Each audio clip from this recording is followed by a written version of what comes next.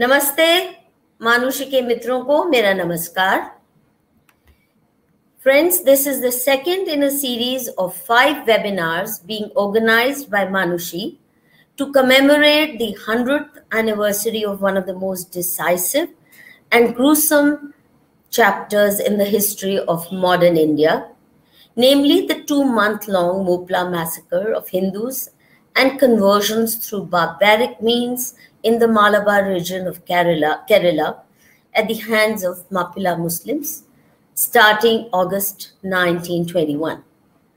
In the inaugural session on August 4, Sandeep Balakrishna had traced the history and background of the jihadi violence unleashed on innocent and totally unarmed, unprepared Hindus in Malabar. We will be posting his video very soon on YouTube, as will all other videos be uh, put out through the Manushi YouTube channel. Sandeep's lecture clearly showed that the 1921 massacre and forced conversions were the logical culmination of M.K. Gandhi's zealous support to the Khilafat movement launched by Shaukat Ali, Maulana Muhammad Ali, Hakim Ajmal Khan, and Maulana Abul Kalam Azad. Sandeep also quoted contemporary sources to describe the actual nature of the violence unleashed without any provocation whatsoever on behalf of Malabar Hindus, including ground reports by Congress leaders such as Annie Besant, who went personally investigate the atrocities the very heart-rending letter of Rani of Nilambur, account describing the atrocities suffered by men, women, and children of her community in a letter to Lady Reading, and a first-hand account written by Diwan Bahadur C. Gopalan Nair, retired deputy collector of Calicut, who wrote really a spine-chilling first person account of the barbarities suffered by Hindus in his book, The Mopla Rebellion 1921. I urge you all to uh, read all these original sources. They are available on the internet. The movement ostensibly aimed against the British was not for any patriotic causes related to India, but to restore the caliphate or the Khalifa of the Ottoman Empire, who was considered the global unifier of Muslims and their centralized political authority after Prophet Muhammad.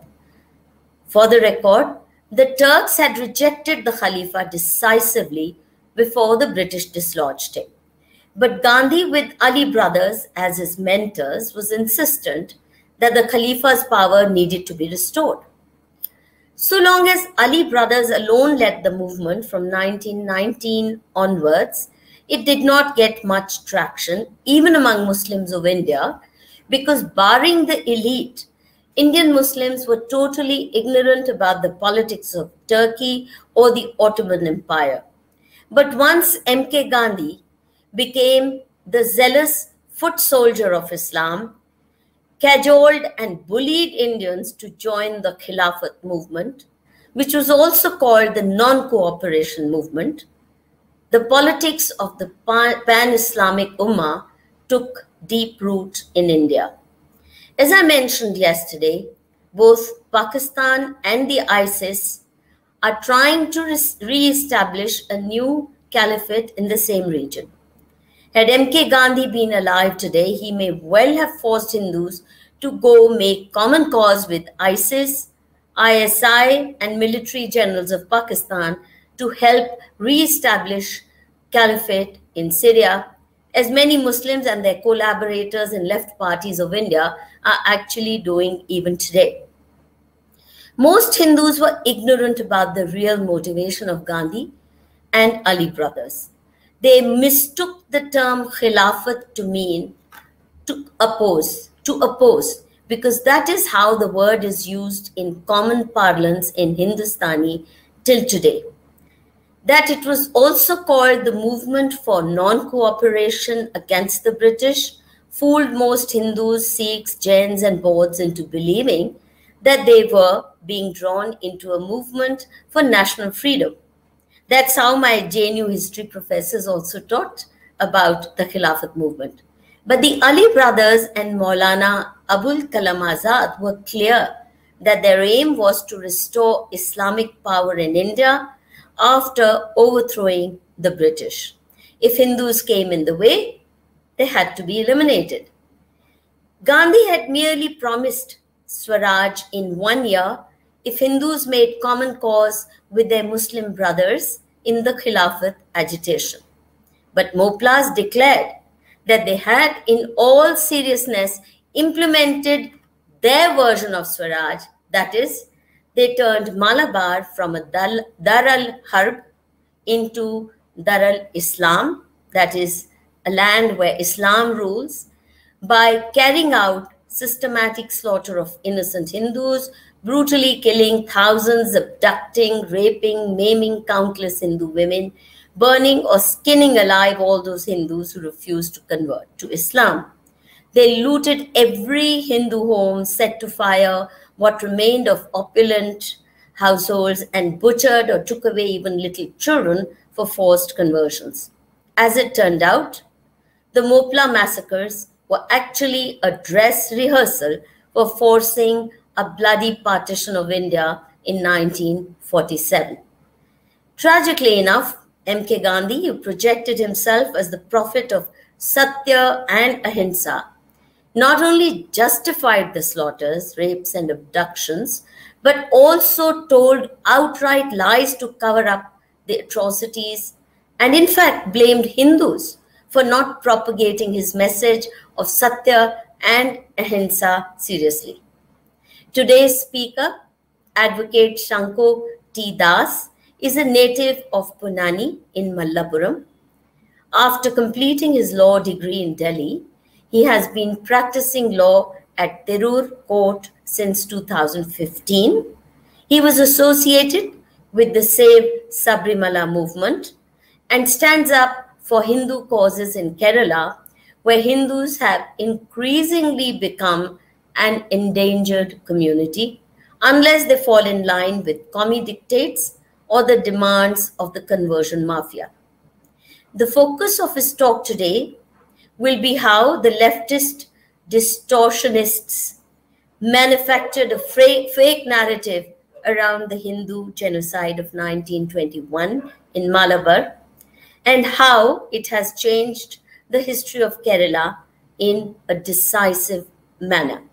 Over to you, Advocate Das. Thank you, Madhuji. Hello all. Namaste. Uh, Madhuji has uh, very clearly, in a nutshell, in 10 minutes, she has explained the whole, uh, the, the very basic premises of this, um, of this uh, unfortunate and gruesome incident that happened in Malabar in 1921. I would just like to correct one thing because the very purpose of this program is to correct the misconceptions that are that has been uh, uh, that has been very carefully laid down in history. The Malabar, uh, the Mapla riot or the Mapla Lehala didn't actually last for two months. It actually lasted for five months. The Mapla Lehala in Malabar uh, started in 1921 August 20th, and it uh, ended in 1922 January 10th. It was only on January 5th of 1922 the leader or the mass murderer Varian Kunnath Kunyamadh Haji was arrested by Inspector uh, Ramanath and Subedar Gopala Menon. Only after his arrest uh, by January, all the other accomplices associated with him were arrested. It was only by 1922 January 10 uh, the riot was suppressed. So it actually lasted for 145 days, almost five months uh, this one-sided killing or communal attack was happening in Malabar, and that was uh, that should actually be uh, one among the longest um, uh, or uh, longest communal riot in the history of whole India, because we know we are discussing a riot that happened for two or three days that resulted in the killing of thousand people from both sides for 20 years. But this is a riot that actually lasted for five months with one community one-sidedly attacking, killing, raping, looting the other community, almost 10,000 people dying. The casualties of Malabar um, massacre is counted as 10,000. Uh, the British sources, the official sources says at least uh, 2,500. Count can be more. And the Hindu historians or the uh, the, the um, um, the authentic uh, Kerala historians uh, round up the figure to some something around 5000 but the unofficial accounts or the uh, victims account state that the actual people the number of people who were murdered in malabar uh, massacre was more than 10,000. Uh, historians like A. Sridhar Menon, who wrote the Survey of Kerala History, then uh, other people like uh, Naim, um, Naim Qureshi, they are all uh, accounting the number to more than 10,000. So this is a riot or this is a communal violence that lasted for five months, resulted in the murder of more than 10,000 people, or almost 5,000 people were forcefully converted, more than 3,000 women were raped, hundreds of temples were destroyed, thousands of houses were looted, and an Islamic state was established for a period of five months. An Islamic state, on, it is only one time in the history of India that a uh, that a proper Islamic state with a Sharia, that is uh, ruled according to Sharia has been established in the history of India, and that almost lasted for five months. Tax was collected by the uh, writers. Army was employed by them, and a Mapla army, exclusively uh, including Muslim uh, members, an army of 50,000 people with Mapla soldiers was employed.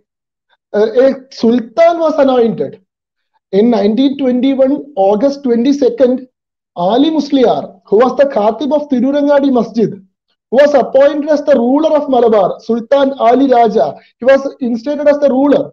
And after Ali Raja surrendered to British in August 30th, Wadiyankunnathu Kunyamadu Haji, the, the leader of the mass murders or the cruelest face in the history of India, he was appointed as the Sultan and his rule actually lasted for five months. Um, uh, I already told you that he had all he had made an army of 50,000 people. Uh, he was he was wearing the crown, which was uh, which is called fez, that represents the Caliph of Turkey. He had a flag, Al Rawat Al Lukab, the black flag of eagle, which we are familiar with because the same thing is used by ISIS today. A black flag in which um, La ilaha illallah or the Shahadat Kalima is written in white letters. That the, the, they were having such a flag. Al Rawat al Luka was used by them.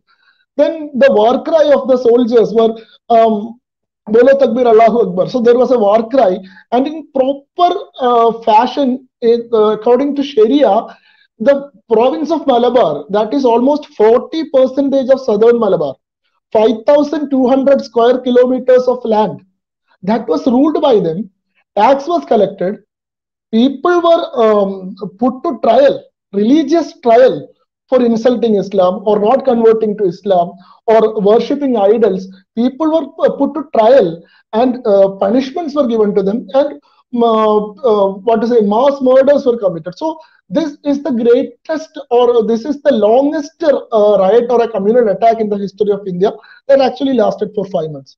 Madhuji uh, told uh, was uh, saying that yesterday in his lecture, Mr. Sandeep Balakrishna had already explained the background of the riots.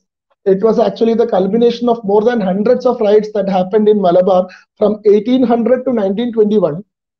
Um, the after the death of Tipu Sultan, Kerala, this Malabar had a history of repeated um, um, attacks from Muslim rulers. It started with uh, Hyder Ali in 1766, the father of Tipu Sultan. He raided Malabar in 1766. Then um, Tipu Sultan raided Malabar uh, twice. Uh, after 1722 Battle of Srirangam or the Third Anglo-British War, uh, he uh, he uh, gave away the um, what to say the rule of Malabar. Till then, it was governed by Tipu Sultan, and he had taken all the land from the Hindu landlords and given it to neo converts to Muslims, and they were made the rulers. The actual people who were occupying that area were forced to flee from Malabar. And only after 1799, after the death of Tipu Sultan, these landlords came back and, uh, with the help of the British uh, uh British company, they were able to take back the land. And this resulted in some kind of tensions in Malabar because for a brief period of time, when Tipu Sultan was the ruler of Malabar, the Muslim neo-converts were having all the land of their own. The original landlords, the original Janmis of that area were forced to flee. And they gave up all their land and their property and they went to southern parts of Kerala, that is Tiruvidampur. And after the death of Tipu Sultan, they are coming back and the, uh, with the help of um, the Britishers, they filed civil suits and they claimed their land back.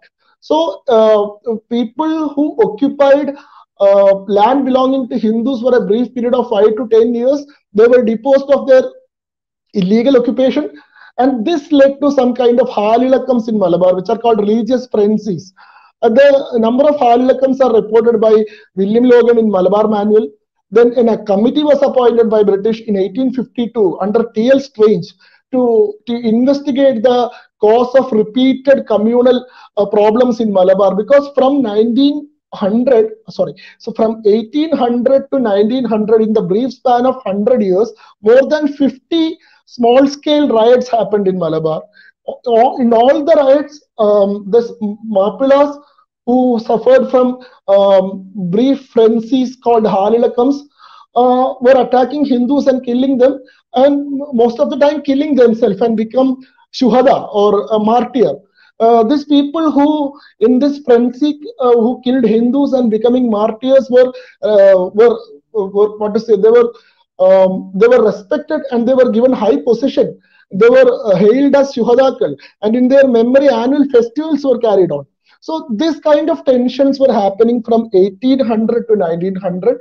The problem was that these were all uh, the uh, reality was that these were all individualized incidents, uh, incidents or these were all um, uh, isolated incidents. The, the, the, such kind of halilakams were not conducted by Muslims in a group or there was no proper organization, there was no coordination. It was done by individuals on their own. Uh, but what happened after 1900 was that the Congress uh, led by Gandhi gave them a stage for them to uh, it gave them an opportunity to organize under this religious banner. It gave them it gave them the uh, political support. It gave a respectable position for uh, this religious fanaticism in politics. And it was after uh, enjoying all these facilities they were able to conduct a full-fledged riot uh, and establish a kingdom of their own and kill all the hindus in uh, in in such a manner even before 1921, even before nine, uh, 1900, there were a number series of such kind of uh, riots and communal violences and incidents were happening in Malabar. Actually, the uh, the history of uh, Islamic um, communal issues in Malabar starts from the period of 1600, from the time of uh, Kunyali Marakkar. Kunyali Marakkar was the a naval captain of Zamorin of Calicut. Kunyali is a title. There are four Kunyali in that uh, in that um, in that what to say uh, in that lineage. And the fourth Kunyali after because uh, um, uh, after uh, after becoming the lord of a very big navy of the uh, Zamorin, he declared himself of himself as the Islamic Raja, and he fought against the Zamorin and uh, he was captured by Zamorin uh, with the help of Portuguese and was executed. This Mappilas of Malabar, this they are they are the later generations of Arabic traders who came to Kerala in ships and who had merged with the local people of um, local people of Kerala. So the uh, RC people, uh, historians like RC Majumdar in a history and culture of Indian people, uh, they say that these are the, the Mappilas of Malabar are actually Ottoman pirates or Barbary pirates and also the offsprings of the Arabic traders. So they were uh, they were accustomed with uh, warfare in the sea. So they were able to, um, uh, uh, they were having a very good command over the sea. So this ability was recognized by Samuri, Zamorin. The Kunyali, first Kunyali Marakkar came as a refugee from Cochin kingdom to Kozhikode, uh, seeking the refuge of Zamorin. Zamorin, after realizing his potential and their abilities in the sea, made them the naval captains. The first Kunyali Marakkar was appointed as the naval captain. And uh, uh, for them to make an army, uh, Zamorin uh, issued a very strange order in 1550 saying that one Hindu from one child from each Hindu family should be raised as a Muslim. So uh, that was the level of reception that they got from Zamorin. One Hindu child from every Hindu family was made to, was customarily or legally bound to be uh, brought up as a Muslim. And by 1600, the number of uh, Muslim uh, Mappada soldiers in the Zamorin navy rose to such a big proportion that they actually thought that they can now take over the kingdom on their own strength. And it was then the fourth Kunyali Marakkar uh, challenged the Zamorin and declared himself as the Mappada Raja or Islamic uh, Sultan, and he fought against Samuri. Uh, many people today in Kerala are celebrating Kunyali Marakkar as a uh, warlord and a brave patriot only on the basis that he fought against the Portuguese. Many of them are unaware that uh, actually Kunyali Marakkar was not fighting against the Portuguese. He was fighting against the Zamorin. It was the Samuri who sought the help of the Portuguese uh, to capture him. So he was captured in uh, 1600 and he, 1599 uh, or 1600 and he was executed. Uh, so this tension starts from that period. Later in 1766, as I already already mentioned, uh, Hyder Ali is attacking um, Malabar. Hyder Ali was attacking Malabar on the invitation of Ali Raja. There was a Muslim kingdom in Kerala called the Arakkal Rajamsham. Arakkal Rajamsham is an offshoot of Chirakkal Rajamsham, which is a Hindu Hindu um, Hindu dynasty. Uh, one lady from uh, Chirakkal Rajamsham converted to Islam, marrying a Muslim trader, and they were accepted by the Chirakkal, Chirakkal Rajamsham, and they they were given uh, status of a Raja, and that Muslim family became um, Arakkal family. It is the only Muslim dynasty or uh, ruling family in the history of Kerala. This Ali Raja invited Hyder Ali uh, to uh, to come to Malabar and capture Malabar, and uh, it was him who led the uh, army of the uh, Hyder Ali, and the most brutal or the most violent um, forms of uh, atrocities were actually committed by the soldiers of Ali Raja rather than the soldiers of Hyder Ali. So uh, uh, it, it, it, happened in that time, but it was a raid. It was not a proper capture or a uh, or an establishment of a kingdom or a proper rule.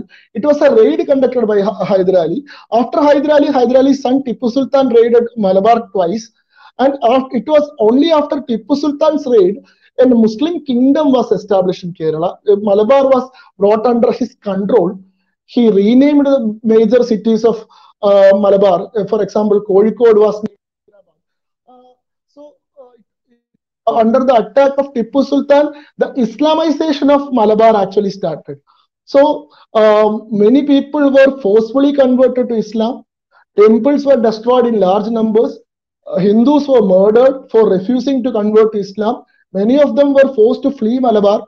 Uh, they, they, they had to uh, run away to faraway places for uh, saving their family. So, uh, and the new converts of Malabar uh, became the new rulers of Malabar. So, it was during Tipu Sultan's reign or Tipu's reign that the Islamization or uh, Islamization of Malabar actually started.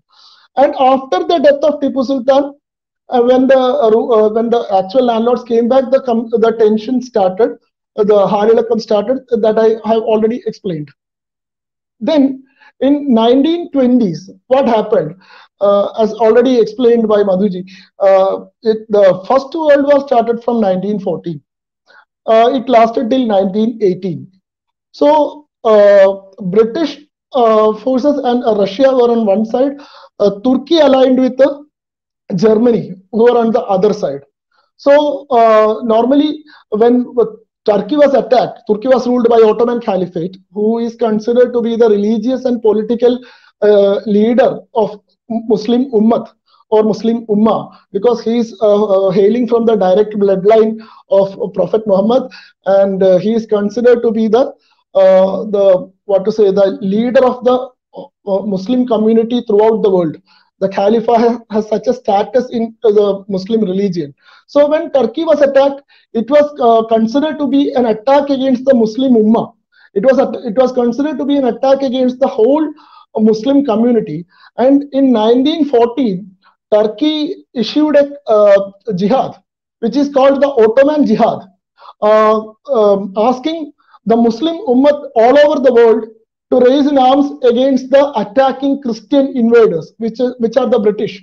So it was uh, it was explained in a religious line rather than a political line. It was explained in such a fashion that Turkey being the capital of Muslim Caliphate and Britain being a Christian country, it is an attack by a by a Christian nation over a Muslim nation, and all the Muslims throughout the world were asked to take up arms and fight against the British, and it was told that it was their duty to protect the Caliphate of Turkey.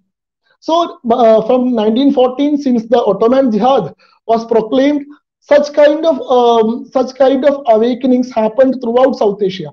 Only in India it, it it got such a political force, it got such a following, because only in India there was a Gandhi and there was a Congress party to support it and accept it as a part of nationalist movement.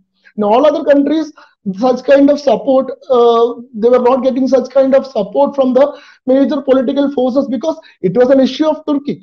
It was not an issue of that country. But in India, uh, on, on the, uh, the leadership of Maulana Muhammad Ali and Maulana Shaukat Ali, who are called as the Ali brothers, a Khilafat committee was established in 1915 and uh, uh, this Ali brothers uh, paraded through or they campaigned throughout India among the Muslims, telling them the need for rising arms against the British for saving Turkey. Uh, various kind of diplomatic attempts were made by them. For example, they uh, they uh, they um, they went to Saudi Arabia and asked the ruler of Saudi to interfere. Saudi Arabian ruler refused. Then they asked the, the ruler of Afghanistan, who is Amanullah, Amir Amanullah, uh, to take uh, to invade India and fight the British and uh, make them run away from India and establish an Islamic rule in India. Uh, actually, Amir Amanullah once attacked also. He reached the uh, northwestern frontier province, and but he was not able to succeed. He was uh, he he had to return. Then they approached Iran. The ruler of Iran was approached uh, he also refused to help them. And it was then they decided to start a home movement by convincing all the Muslim brethren to, uh, to rise in arms against the British rule for protecting Turkey. By 1918, the First World War ended, but by that time, the Khilafat movement in India had gained such kind of strength due to the very uh, inflammable and inciting speeches of Ali brothers they were able to publish a Khilafat manifesto by 1918, and almost 1 lakh copies of the Khilafat manifesto were distributed. The Khilafat manifesto demanded the British to leave Turkey. Otherwise, the anger of the Indian Muslims will go out of proportions. It was framed in such a manner. By 1918, uh, the First World War was over. The, uh, the side which Turkey aligned with lost the war. Uh, uh Turkey faced a very humiliating defeat by the Treaty of Lausanne in 1918 and by the Treaty of Sevres, uh, Treaty of Sevres in 1919, uh, Turkey was forced to give away their uh, uh major chunk of their um, what to say uh, their territory. The Khilafah or the Caliph of uh, this Turkey was reduced into a very titular position. The position of Khalifa was was abolished, and he was dethroned. to be frank, the position of Khalifa ceased to exist after the Treaty of Sevres. And most of the territory, the territory of Turkey at that time uh, extended till Africa. So most of the uh, uh, territory of uh, Turkey was taken away. So uh, then the Khilafat movement in India took a violent form. it wanted the Khalifa of Turkey to be reinstated. He, uh, they wanted him to be placed in the throne again because an attack on Turkey or a, a dethroning of Khalifa was considered to be an attack on Islam.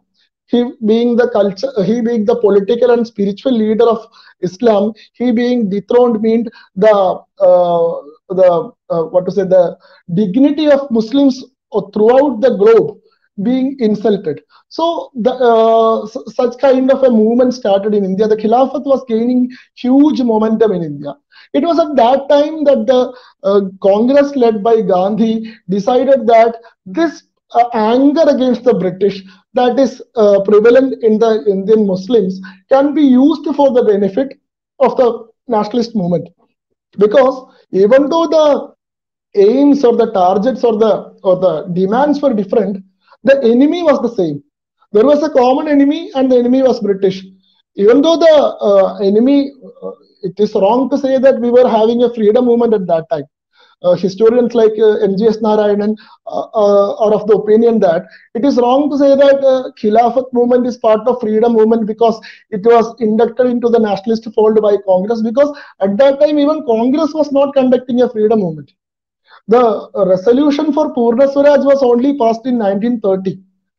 Till uh, during 1920, what Congress was demanding was only um, more representation in government in 1921, uh, the non-cooperation movement was uh, was against the Rowlatt Act. Uh, Rowlatt Act, uh, uh, what to say, it uh, it didn't accept the Indians' demand for more representation in the government. Also, the home rule um, home rule demand was also not accepted. Only after 1930, Congress started demanding independence. Till then, it was uh, it was of the opinion that the British rule is good for India. Britishers should remain in India. In 1885, Congress was started with the help of a viceroy. He was a, a Britisher, um, a Allan Octavian Hume. So it was um, many times it is being criticized as a pressure valve uh, for uh, taking out the anger and the frustration of Indians against the Britishers by asking for meager concessions and minimum representations and celebrating such such things as great victory. So the Congress was of the, was of the opinion that the Britishers should remain in India. They should uh, civilize India. They should teach India the democratic methods. And only after India has ripened into a proper democratic system, or pro, only after India has grown into uh, such an extent, it should be given freedom. Only in 1942, Congress is demanding quit India. It was the first time that Congress had asked the uh, Britishers to leave India.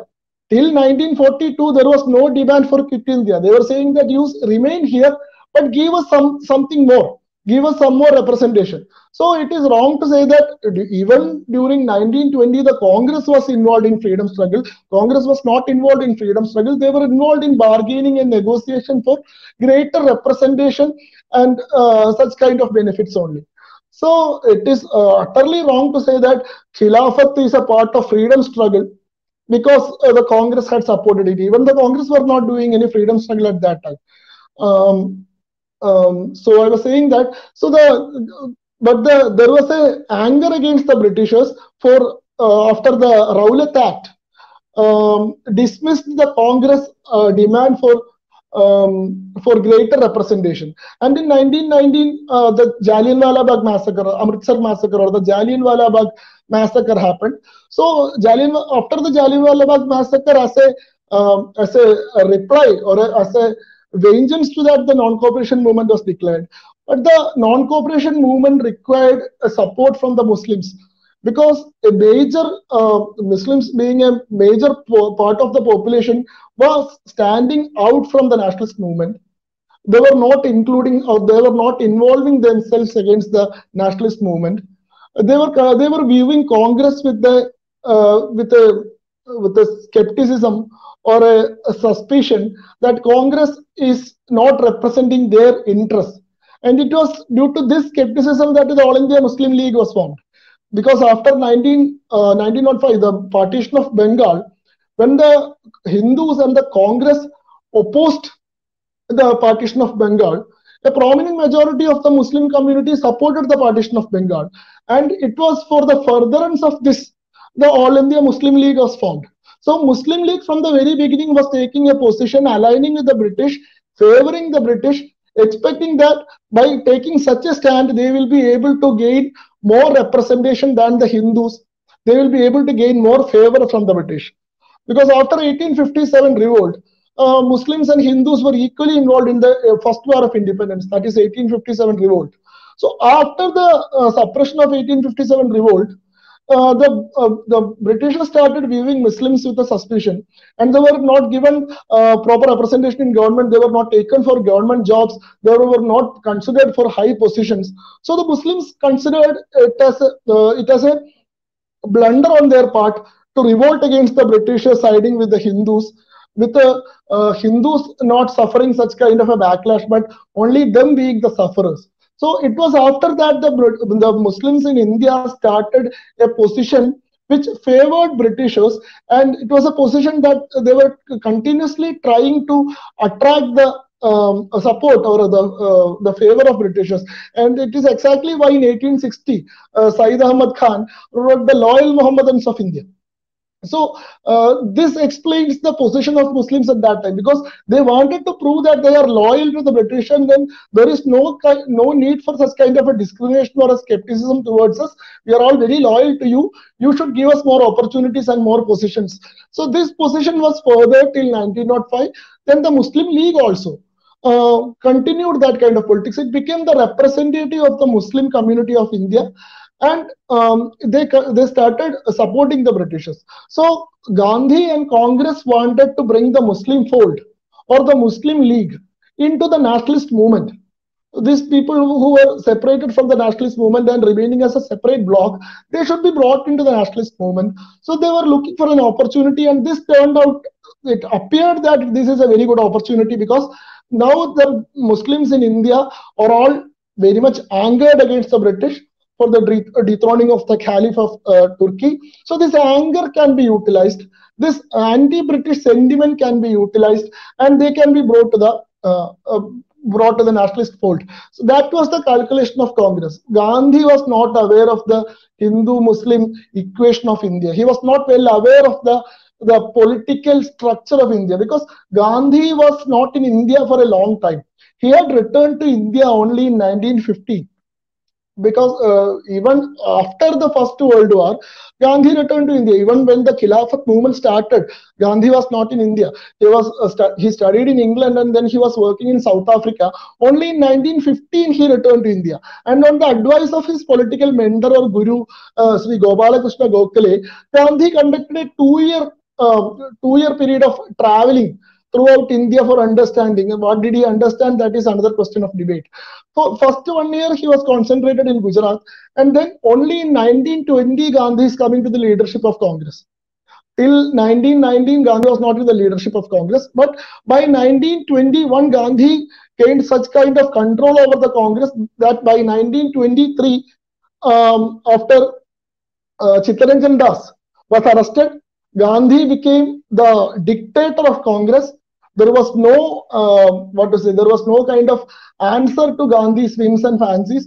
Everyone were obliged to, uh, to uh, obey Gandhi, even though they feel that that idea is foolish. So such kind, because uh, such kind of uh, influence he gained in Congress by the in the 1990-21 period. So in 1919, uh, this blunder was committed by Congress, uh, the, the brunt of which or the or the result of which was borne by the uh, unfortunate and poor Hindus of Malabar who are not even aware of the Khalifa or the uh, First World War uh, thing. So Maulana Muhammad Ali and Maulana Shaukat Ali, they were invited to Congress meeting. Congress, what to say, Congress gave them full assurance that Congress will support the Khilafat movement uh, if they support the non-cooperation movement. So there was a there was a pact for a joint Khilafat Swaraj movement. Uh, but uh, there was no confusion on the part of Maulana Muhammad Ali or Maulana Shaukat Ali. They were very clear that uh, their interest is only the protection of Khalifa. They are not at all interested in in uh, what to say the independence of India or any other thing because uh, there was no demand also. The Khilafat movement at no point has raised uh, has raised the point that India should be given independence.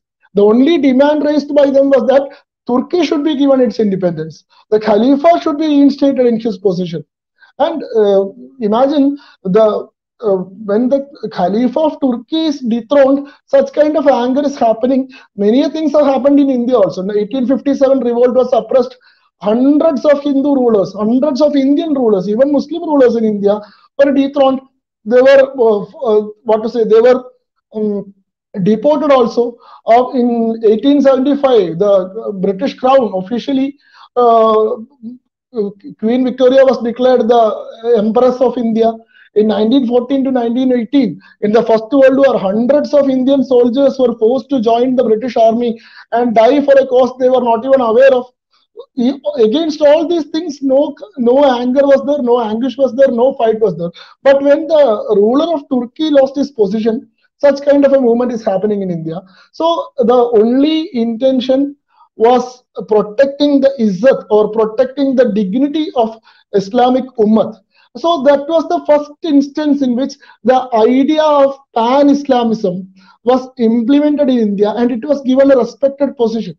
Uh, Hove Seshadri, um, uh, H.V. Seshadri or Hove Seshadri, in his article, uh, The Himalayan Blunder of Khilafat Movement, uh, Khilafat Movement, the Himalayan Blunder, he very clearly states that the Khilafat movement gave rise to two disastrous long-term consequences in Indian history. Two disastrous long-term consequences. First of all, it accepted Muslim fanaticism uh, and gave it a respectable position. The idea that uh, the all the issues, the, even without national borders, the international issues or anything that concerned with the Islamic Ummah is a problem of Indian Muslim. That kind of pan-Islamic idea was uh, accepted in India and it was given a very respectable position. It was converted into a movement with the uh, Congress party and the nationalist movement supporting it. So that was the first thing. The Muslim fanaticism was accepted and it was given a respectable position. It also helped in uh, the organizing them or uh, unifying the Muslims who were actually um, not uh, uh, were having such kind of a consensus on something till that time. It gave a unifying point or a single point on which they can join together and fight together, and that was the Izzat of Islam. That was the uh, protection of Muslim Ummah. So it gave a uh, rallying point or a unification point for the Muslims. It encouraged and accepted uh, Muslim fanaticism and gave it a very respectable position in, in Indian political spectrum. That was the first thing.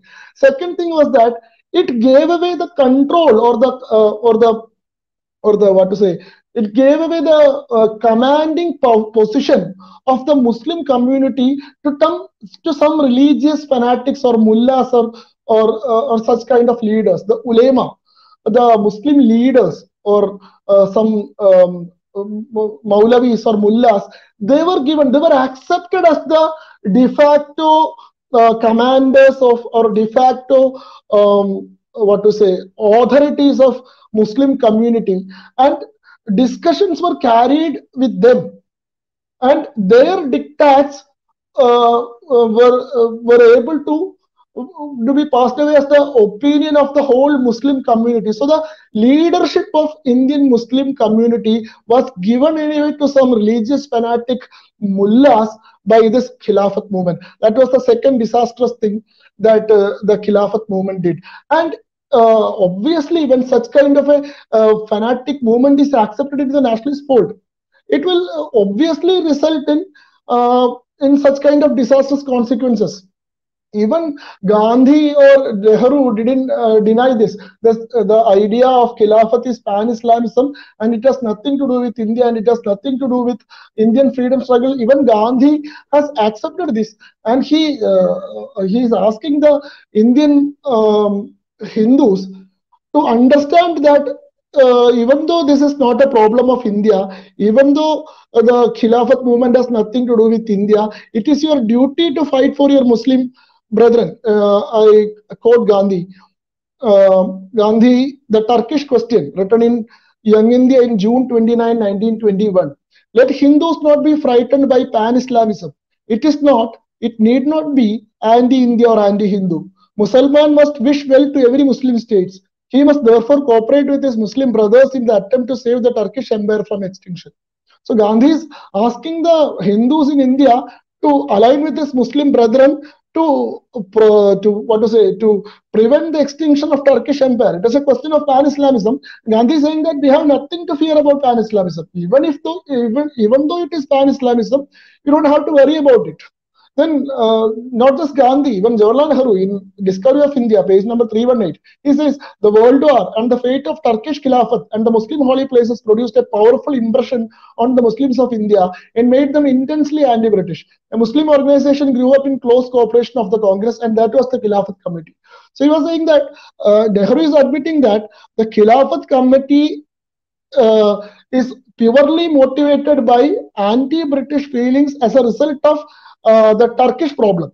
And it has nothing to do with Indian circumstances or Indian freedom struggle. Still, we are asking you to align with them in an expectation that if you stand with them today for their uh, for realizing their or for uh, remedying their religious grievance, tomorrow they might stand with you for remedy, remedying your political grievance. So that was the concept followed by uh, uh, Gandhi and Nehru and Congress at that time. Even in Congress party, there were a number of people uh, who were opposed to uh, bring the Khilafat um, uh, volunteers into the Congress fold or the nationalist fold.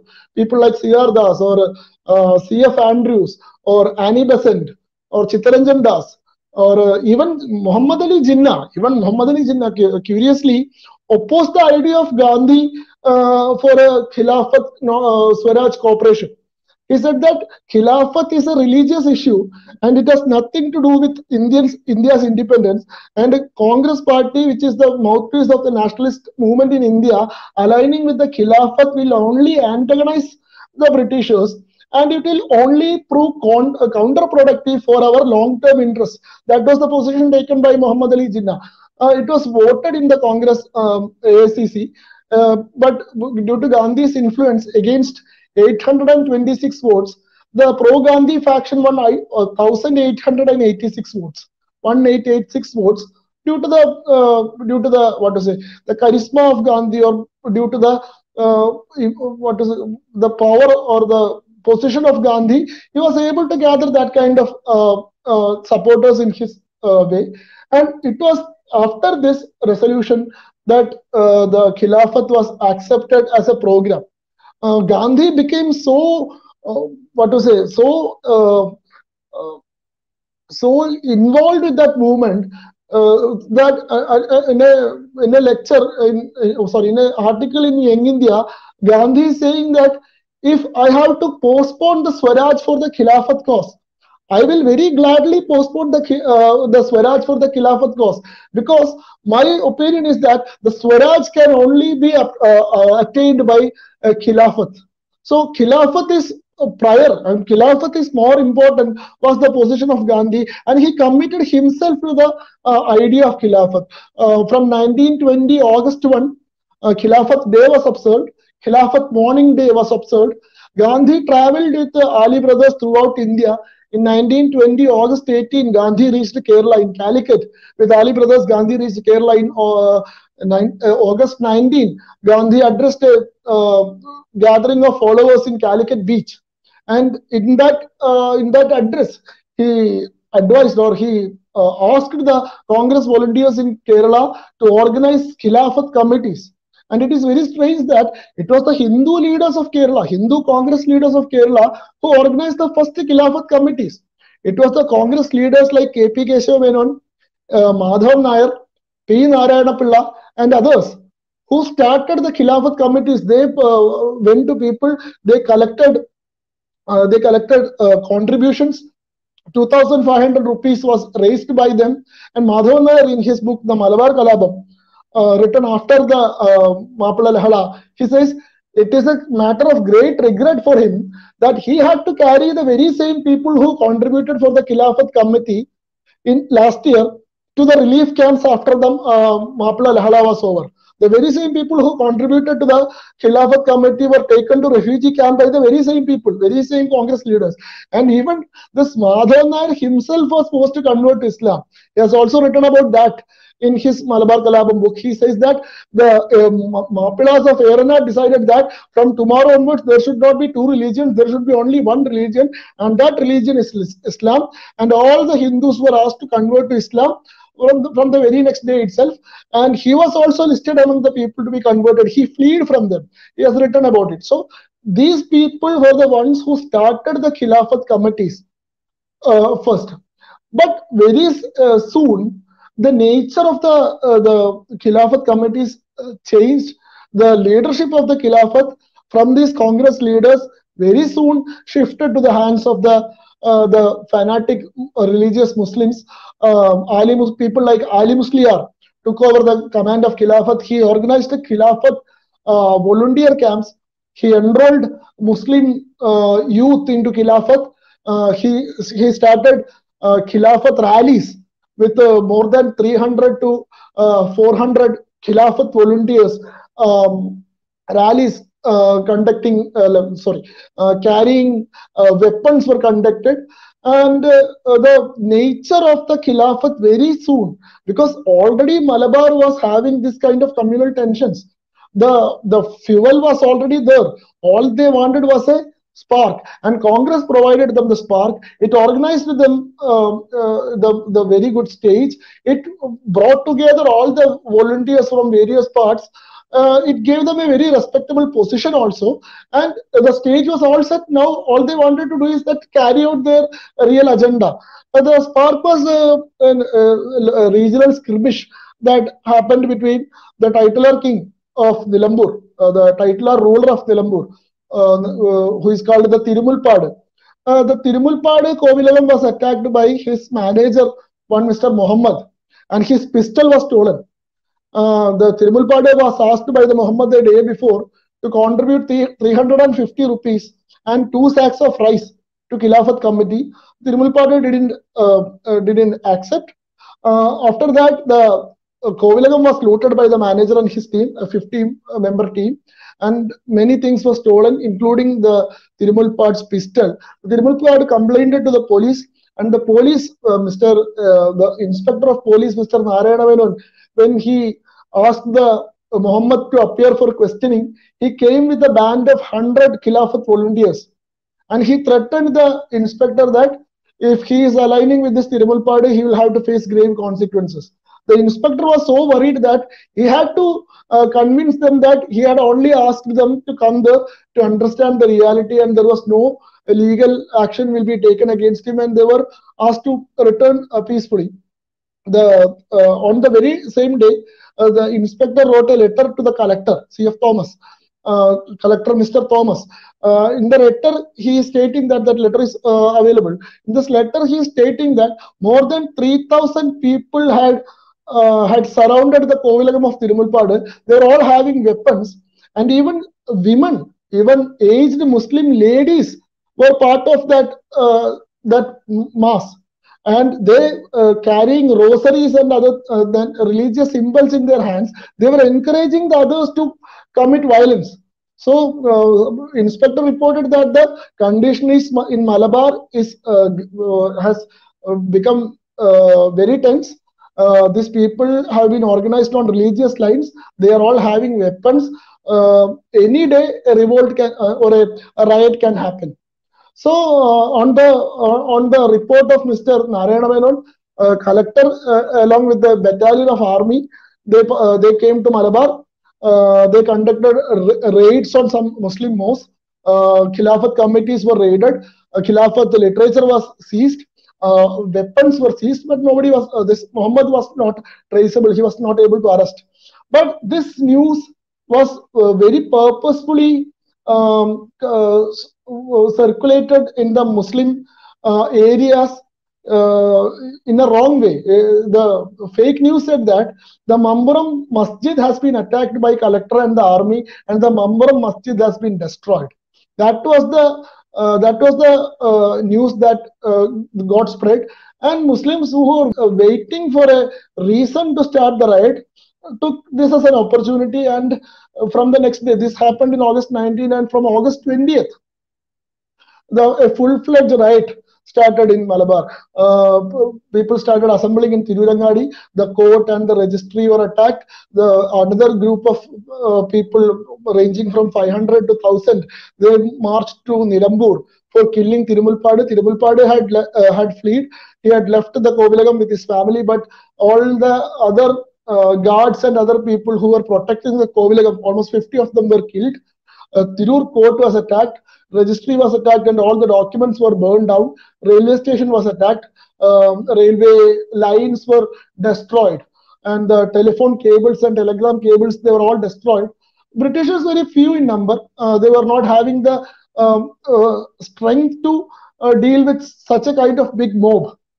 Almost 3,000, 5,000 people were there. They were not able to uh, control them. In that fight, two British officers were killed and the Britishers had to flee. They had to go uh, uh, uh go uh, out of Nilambur. So from the next day, there was no Britishers in India. Uh, news was was was circulated that all the Britishers have left Malabar. The collector Thomas and superintendent, district police superintendent Mr. Hitchcock, has been murdered by the rioters. Now there is no one to question us. The Khilafat has been established. The whole area is now under under our control. On August 22nd, Ali Musliar is instated as the Sultan Ali Raja of Malabar. This 5,200 square kilometer area of land, 40% of southern Malabar, now become a kingdom ruled by Sultan Ali Raja. The very next day, the Khatib of Tirurangadi Masjid is appointed as the Sultan of Malabar. And then a series of uh, uh, communal attacks plundering, lay, rapes, loot, destruction of temples, forceful conversions all started. From August 22nd, the full-fledged uh, riot uh, broke down in, uh, started in Malabar. Uh, I am sure that yesterday Mr. Sandeep Balakrishna had um, had explained uh, from Madhuji's uh, introductory session. I understood that he had read the uh, letter of Nilambur Rani and he has read um, quotes from Annie Besant, and he has read from uh, Dr. B.R. Ambedkar. So the um, the actual things that happened in Malabar is very much known to you. I will just read one uh, paragraph from um, from a meeting convened by Zamorin of uh, Calicut. A meeting was convened by Zamorin of Calicut in 1921 and they passed some resolutions against these attacks. The sixth resolution explains the uh, in, in, a nutshell the things that happened in Malabar in those days. I quote that the conference views with indignation and sorrow the attempts made at various quarters by interested parties to ignore or minimize the crimes committed by the rebels such as brutally dishonoring women, flaying people alive, wholesale slaughter of men, women and children, burning alive entire families, forcibly converting people in thousands, and lay, slaying those who uh, refuse to get converted, throwing half dead people into wells and leaving the victims to struggle for escape till finally released from their suffering by death, burning a great many and looting practically all Hindu and Christian houses in the disturbed areas in which even Mopla women and children took so these are all the things happened. Even Mopla women and children took part and robbed women of even the garments on their bodies.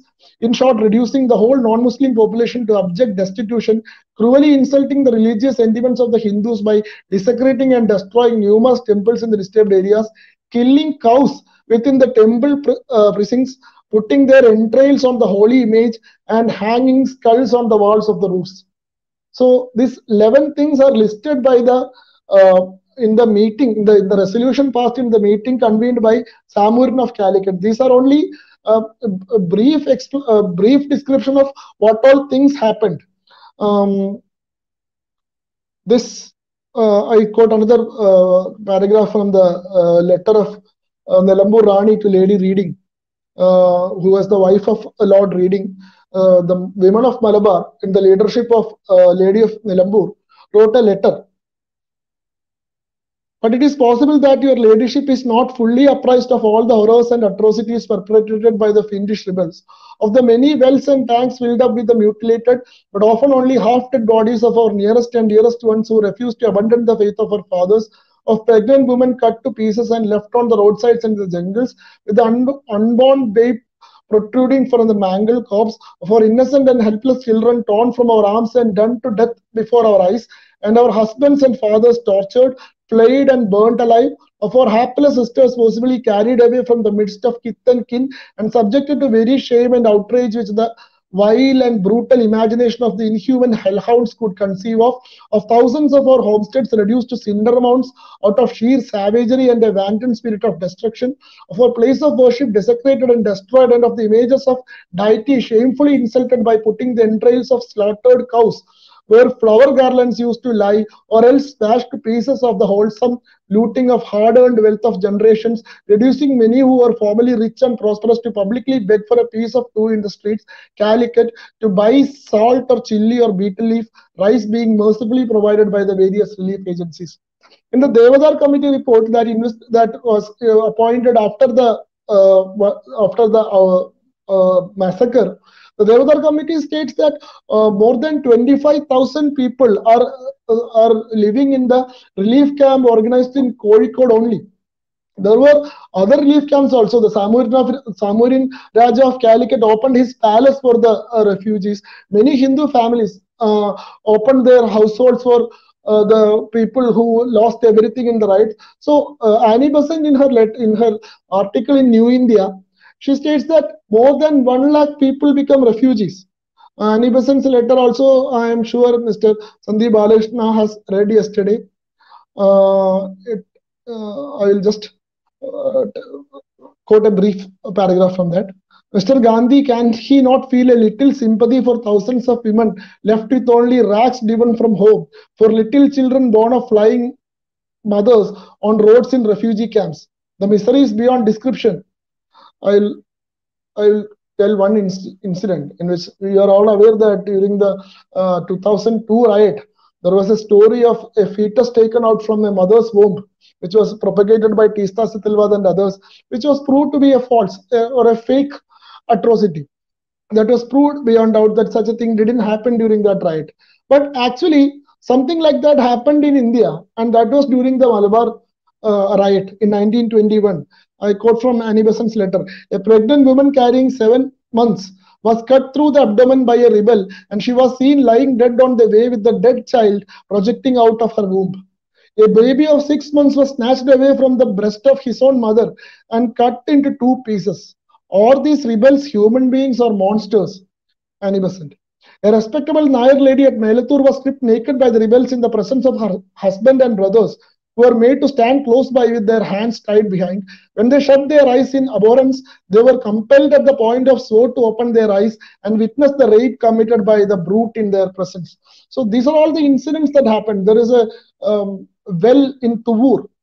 In Tuvur well, the people who were subjected to religious trial and who were found to be uh, com committing some kind of uh, some kind of uh, actions against the, uh, the religion or who were, who were uh, refused to convert, they were uh, put to a trial and they were executed.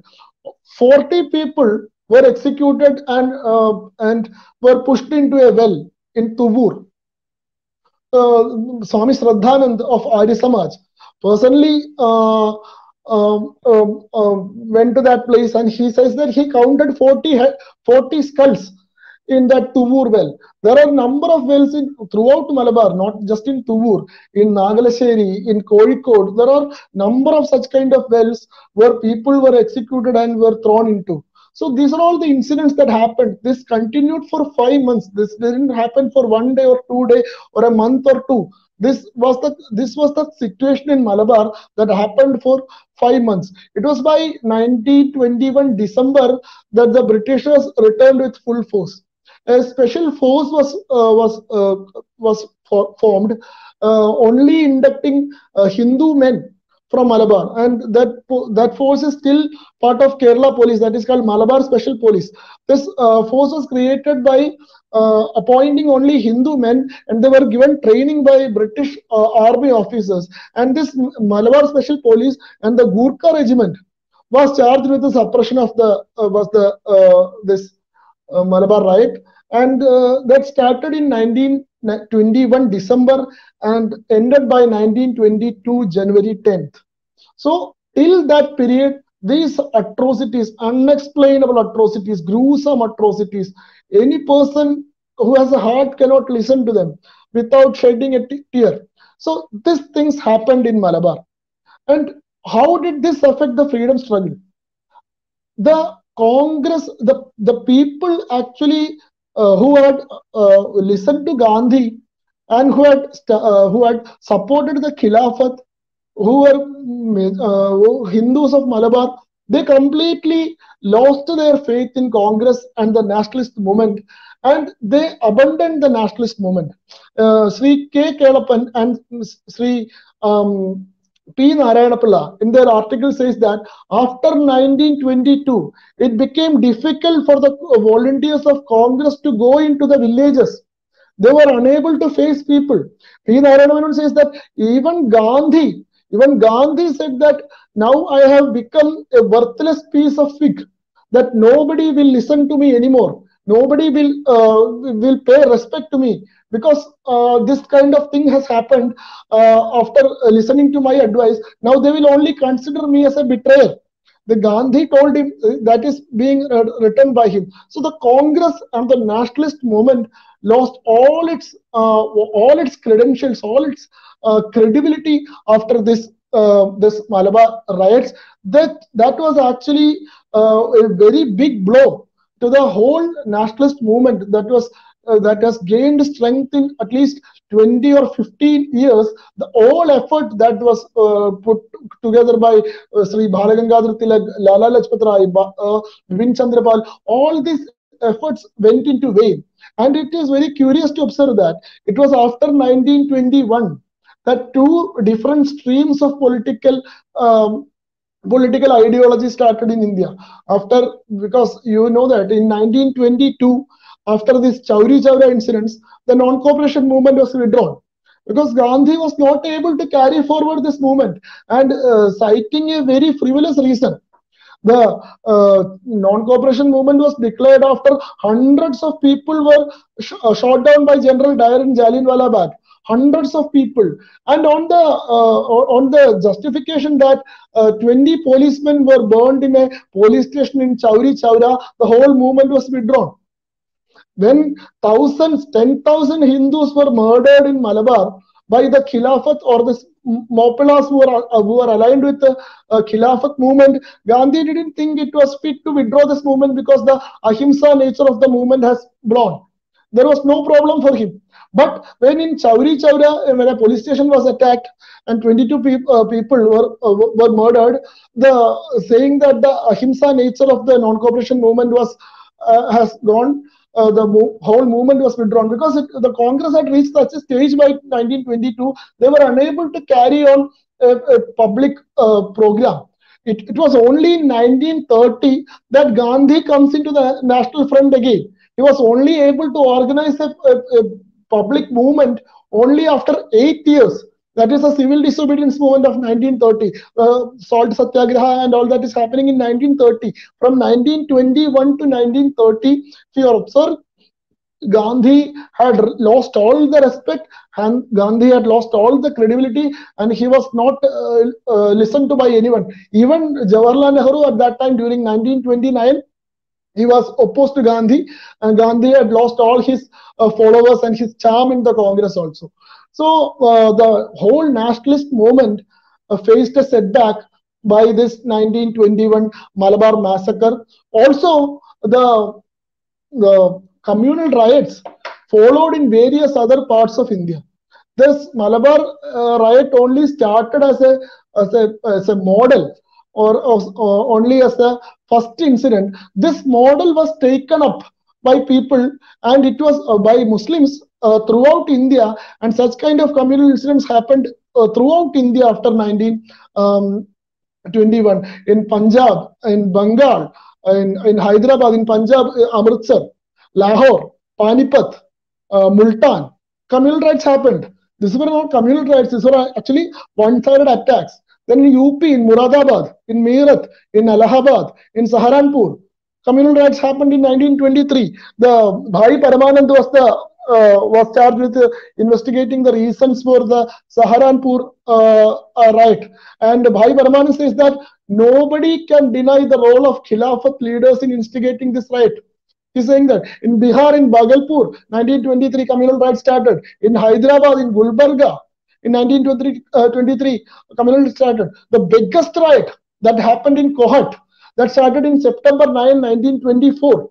Pattabhi Sitaramayya, who is the official um, Congress historian who wrote the history of Congress, he says that no one can go through the details of the Kohat riot without experiencing a shiver of terror going through their spine. He says that the Kohat riot broke the spine of Indian national movement because only 5% Hindus living in a, in a Muslim dominated area were murdered. 150 people were killed in a single day. All of them were forced to convert. And these Hindus had to run 320 kilometers. This Kohat is now in Khyber Pakhtunkhwa, which is a part of Pakistan. The nearest city was 320 kilometers away, Rawalpindi. And the Hindus were forced to flee to Rawalpindi. And Bhai, Bhai Paramanand, uh, and Gandhi, uh, not Bhai Paramanand, uh, Swami Shraddhanand and Gandhi and uh, Ali brothers, they visited Rawalpindi to talk to these victims.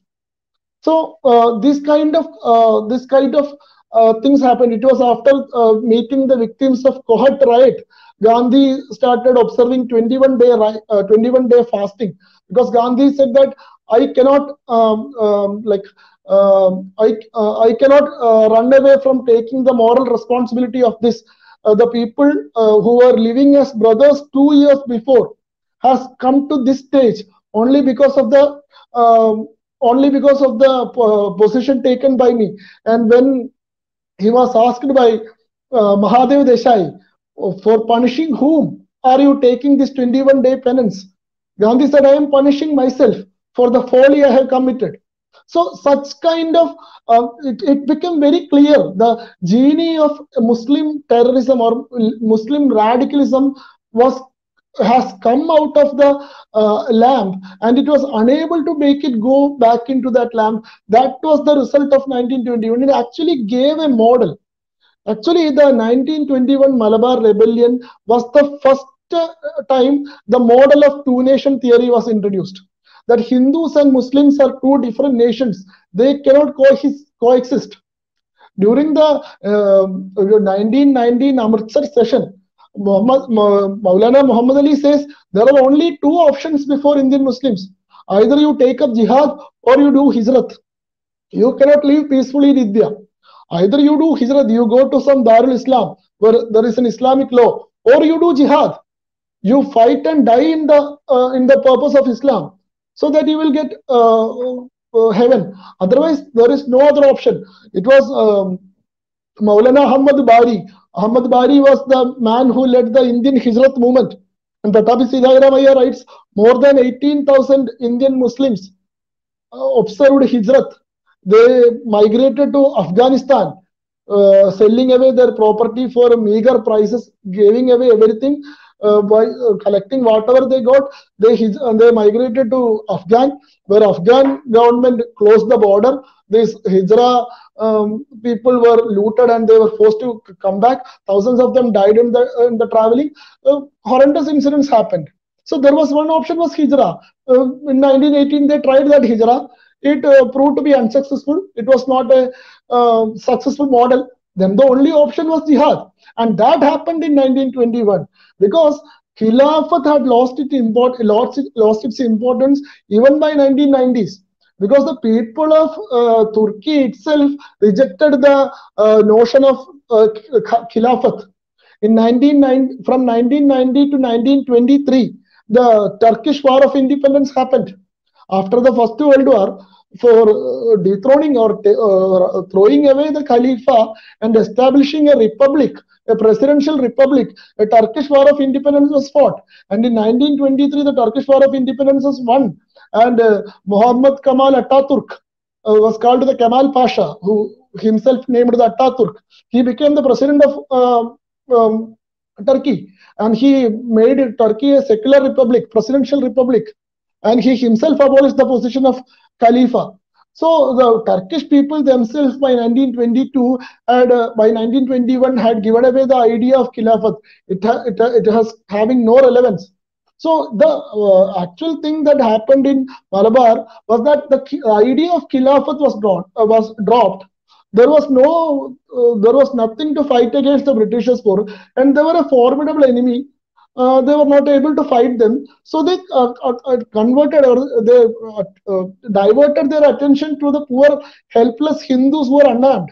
So anyway, we are going to die, so we'll kill many more Hindus, and we can attain we can attain heaven. Mr. K. K. Kelappan in his article says that the only intention before he was all, he was a Khilafat volunteer, he was an organizer of the Khilafat committee. Mr. K. K. Kelappan is called Kerala Gandhi he was called Kerala Gandhi and he led all the Gandhian, uh, including Sarvodaya movement, Bhudan movement. All of them were led by K. K. Kelappan. He himself says that the only attraction for a Muslim to to participate in this Mapla uh, rebellion or the Mapla massacre, uh, Malabar massacre was the intention for for killing kafir to gain heaven.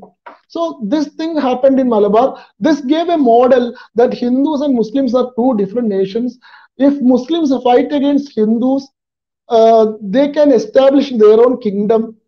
Uh, uh, Islamic State, Islamic State is uh, is a must for a Muslim. They can only live under the Sharia. This idea was actualized for the first time in 1921. You should remember, it is only in 1933 that Muhammad Iqbal raised the two-nation theory. Only in 1933. Only in 1940, in the Lahore session of Muslim League, is the Muhammad Ali Jinnah is giving the presidential address saying we want a uh, separate state.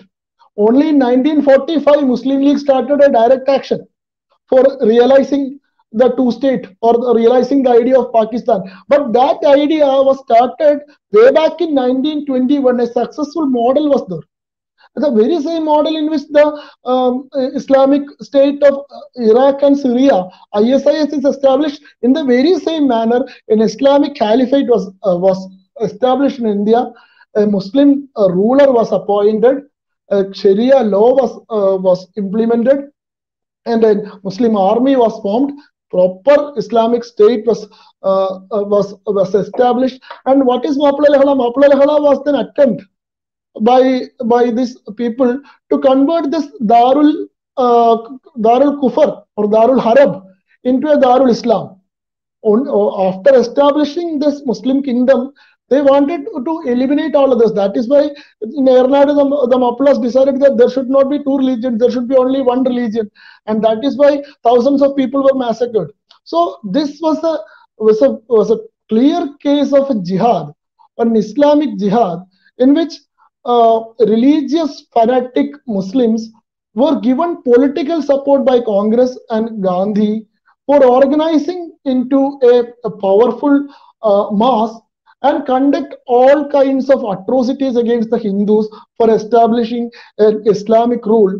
Uh, and so far, this uh, Malabar uh, massacre is the only incident, only instance which in, inside till 1947, and uh, a successful model of an Islamic state was was established inside India. 1947, Hode Seshadri, in his story, uh, in his article, uh, The Pain of Separation, which was uh, uh praised by even um, um, Goyal and uh, Atal Bihari Vajpayee, says that even though there was various countries inside India, the idea of nation, one nation was there till 1947 and that was a spiritual strength. That idea was corrupted in 1947 when in religious lines it was cut down and a separate country was formed that that model was for the first time established in, established in 1921 and that was uh, uh, and that thing is being uh, what to say that is being um, explained as a, part of freedom struggle or a agrarian revolt against feudal landlords. It was the communist historians after i will conclude after i uh, finish that point uh, what last point because it was uh, only after 25 years of uh, malabar uh, massacre that the the narrative of agrarian revolt against feudal landlords came Malabar riot happened in 1921.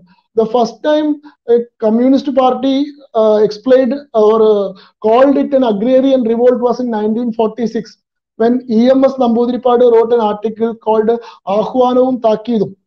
It was in the same year uh, the first leader of opposition in parliament, communist leader um, Mr. A.K. Gopalan, made an, made an address uh, calling the people to uh, conduct a direct action in the same line of Malabar massacre 1921.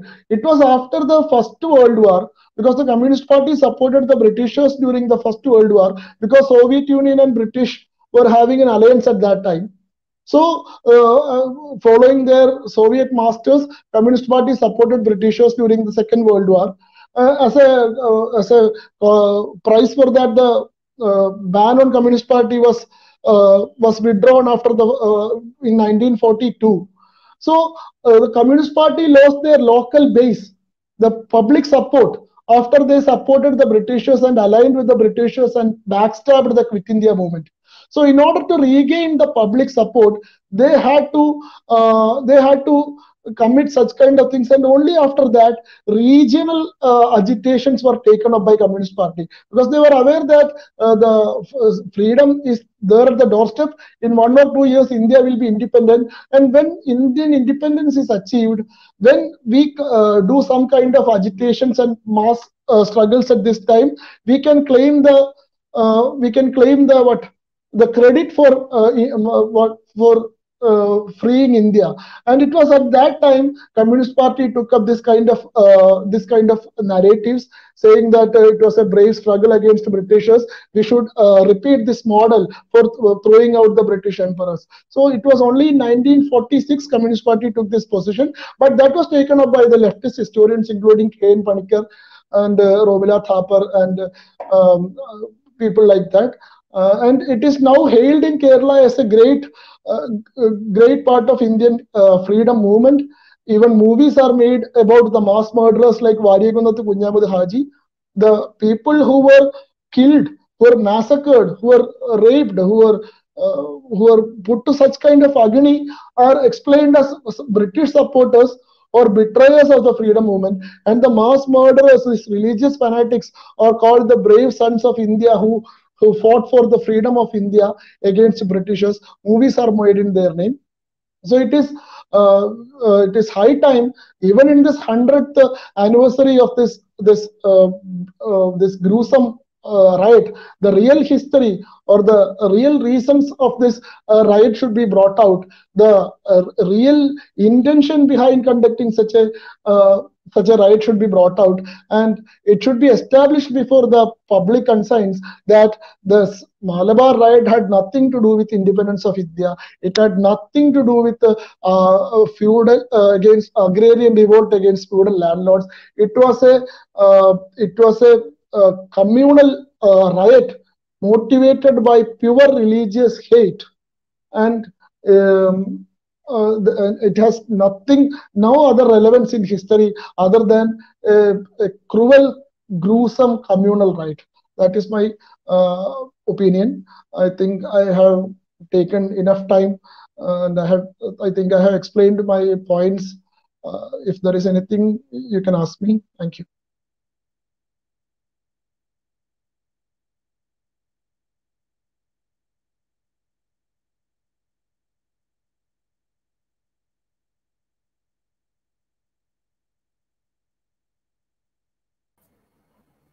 Hello, am I audible Hello? now?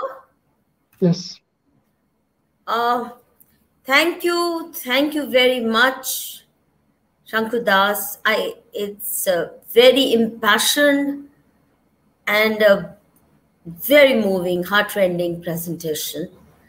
And uh, it's rare that we hear voices from Kerala. I promise you, uh, we will carry a series on Kerala because even what's happening today is not coming out. I'm sure people are writing about it in Malayalam, maybe, but the English press doesn't really give us much information, nor does TV. So do help us bring more facts out.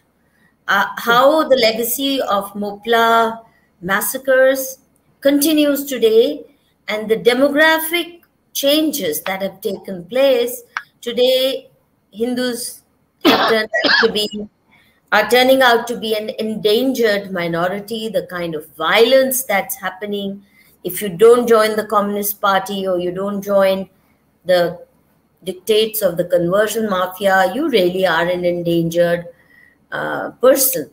So we will certainly try to bring more voices and i hope you will assist me in bringing more many more people who are as articulate as well informed as you are now i want to ask you before we start the q&a session i have two three quick points one have you written about this or not yet I have written, but the, all my articles are in Malayalam. I have not written okay. in English. In which case, what I'm going to do is I'm going to get this presentation of yours transcribed and I will send you the entire document as long as it is.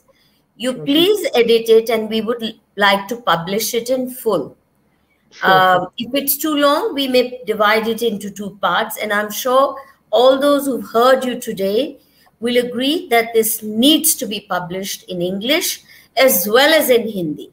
So we will try to also get a Hindi translation of it so that these facts get to be better known. I, I just heard, um, I got information that a book on Mopla's massacre has recently been released in Kerala.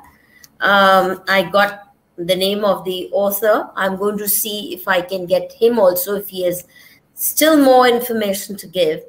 But certainly this lecture of yours this presentation of yours will be published and please make sure that you do the filling of the gaps or adding any material you want. We'll publish them both in English. Secondly, a brief point. You've repeatedly in between uh, referred to them as riots. You know, riots took place, this took place. As someone who has personally investigated several so-called riots, from 1980s onwards. Uh, I understood that this word riot is a misnomer, especially, for example, in 1984, when what was by the media at that time called Hindu Muslim, Hindu Sikh riots, when Manushi did its own investigation, we found that not a single Hindu had killed a single Sikh. But the killings were not by Hindus of Sikhs, but by Congress goons of Sikhs. It's mobilized Congress goons, paid mobs who went, looted, and did many of these horrible things in 1984. That is why the report I published in Manushi. Can while I make the, one point? Huh? Just let Can me finish. Yes, yes, one second. So at that time, the newspapers were calling it Hindu Sikh riots. Mine was the first report uh, which called it Massacre of the Sikhs. Gangster rule, Massacre of the Sikhs. Because if it's one way killing, then you cannot call it a riot. And in all these riots that you so called riots you talked about, including the Mopla massacres, I don't think one can come across even one case of a Muslim being murdered in retaliation or killed. At least I haven't heard about it. If you have, let me know. But even it wasn't even retaliatory violence and self-defense. What has happened to Hindus is that we're not even today capable of self violence and self defense to protect the women of our family to protect our kids even that power has been taken away from us because first the Islamic rulers, then the British demilitarized, they de-weaponized Hindus. And, um, and so uh, the tradition of every village, every township organizing its own security gave way to the police, the so-called state police, which we know how very partisan, how easily purchasable the loyalty of the police, etc. Anyway, that's a small point. Finally, I'd like to tell all those, um, especially Silsile Kajol and another person, uh, C.P. Ramakrishnan, who narrated a story about his grandmother telling him, uh, in you know, giving him information or during his childhood about what happened during Khilafat. Silsile, I invite you to write for Manushi. You've been uh, presenting very important, very insightful, insightful information. Sarojini Naidu's role, the speeches that you've just quoted, please put it down in the form of writing. And all those of you who have more information to give, I have already posted my email address uh, in the comment section. Uh, we would welcome more information coming to us that we can publish in the form of articles. Uh, with this, I invite uh, Dr. Ajay Chrungoo, who's the founder, chairperson of Panun Kashmir. He's from Jammu. Um, he has been a victim of uh, ethnic cleansing in Kashmir. So he can obviously relate to what you're saying um, very well. Uh, Dr. Chrungoo, before we open the session for Q&A, please, your comments. Can't hear. Can't hear.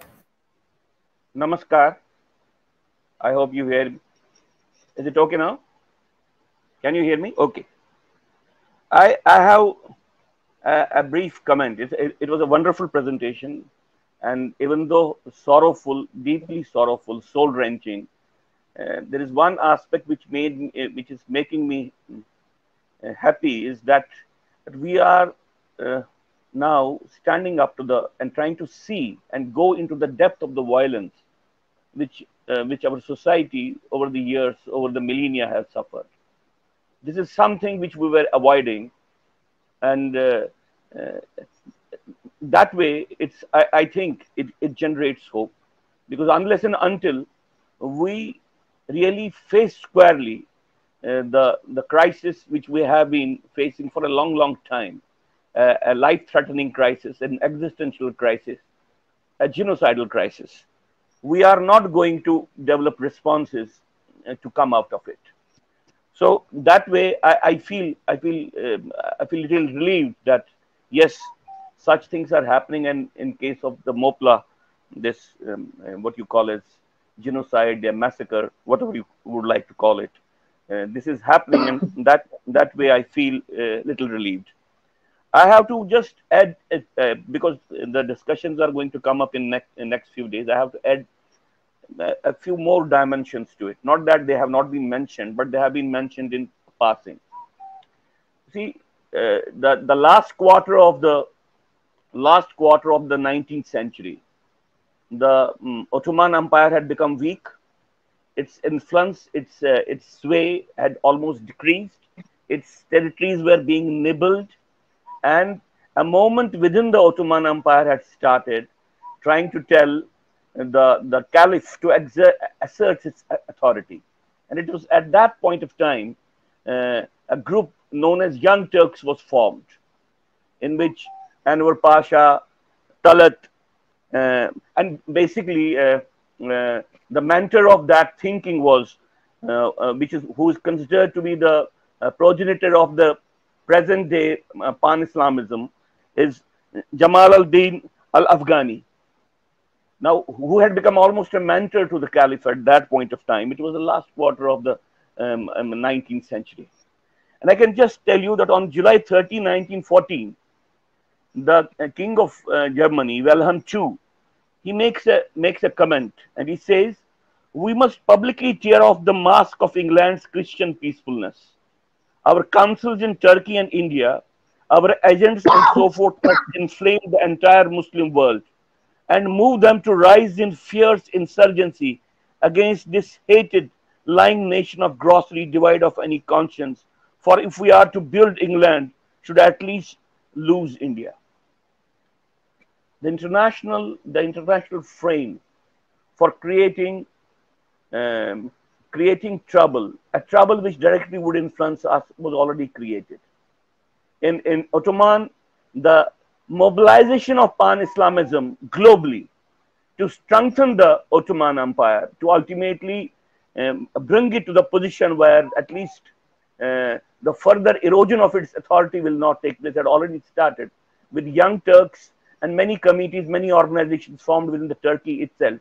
And they're trying to engage with the international forces to create an alliance in which they would then see that the Islam emerges as the dominant force in the world once again.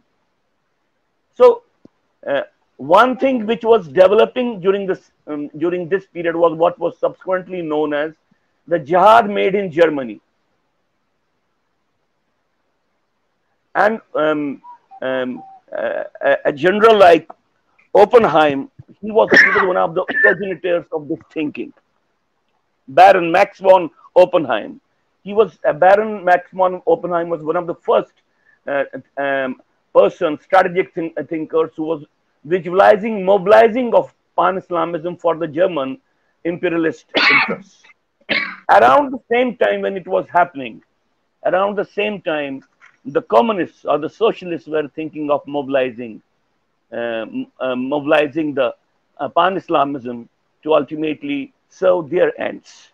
And I can just uh, quote here that second Congress, Congress, second World Congress of Communist International was held in July 1920 just around the time the trouble was already brewing up or it was building, uh, say, in the Mopla. And one of the leading personalities who introduced, who introduced the concept of mobilizing Indian Muslims was M.N. Roy. He was, he was the Indian communist. And I can just read the type of love he had for Islam uh, and we can uh, visualize to what extent, the, what type of trouble um, we were to face in the coming years and we, which we are facing even now. He said Muhammad assumed the role of the singular prophet, spreading his message of peace. Every prophet established his pretension by the performance of miracles. On that token, Muhammad must, must be recognized as by far the greatest of all prophets, before or after him. The expansion of Islam is the most miraculous of all miracles. The phenomenal success of Islam was primarily due to its revolutionary significance and its ability to lead the masses out of the hopeless situation created created by the decay of the antique civilization a tremendous dynamic historical phenomenon the miracle the miraculous performance of the army of god usually dazzles the vision the nobility of character, purity of purpose, and the piety of spirit. Their de devoutness might have been fortified by superstitions, but was not stained by hypocrisy. Their fanaticism was softened by generosity and sound common sense. Their ambition was remarkable, free, remarkably free and selfishness. Godliness for them was not a wheel for greediness. This is how M.N. Roy, one of the pioneers of left movement in India, visualized the, the rise of Islam. And he was the person who was incorporated by Lenin into his main team to handle the affairs of um, uh, Middle East and Asia. He was the person who was who was guiding the Communist International to mobilize ultimately the um, pan-Islamism, the Muslims, how could they not recognize the Mopla Hindus as, um, as landlords? They had to. They had to demonize them. They had to ultimately taboo them to justify the violence which was unleashed against them. the way that they tabooed, that, they demonized us, Kashmiri Hindus, as the as the landlords of Kashmir, when 98% of the landlords of Kashmir were Muslims. So, Bolshevik jihad and German jihad, a jihad made in Germany, and the jihad original, three convergences were happening around the same period of time. Three convergences. They say that the jihad learned from Bolshevism the lexicon. Jihad learned from the formulations, formulations like uh, anti-imperialism, colonialism, and they used them and they are still using them. Germans also, Germans also tried to strengthen them because they thought, and for a long, long period, Nazis and the communists were cohorts. Germans tried to utilize, they, in fact, they helped Lenin, Lenin to emerge. They helped, they wanted to knock off the Tsar. They wanted to knock off the Russian Empire. And they wanted to do it for this. So once we see it from this perspective, we come to a different situation.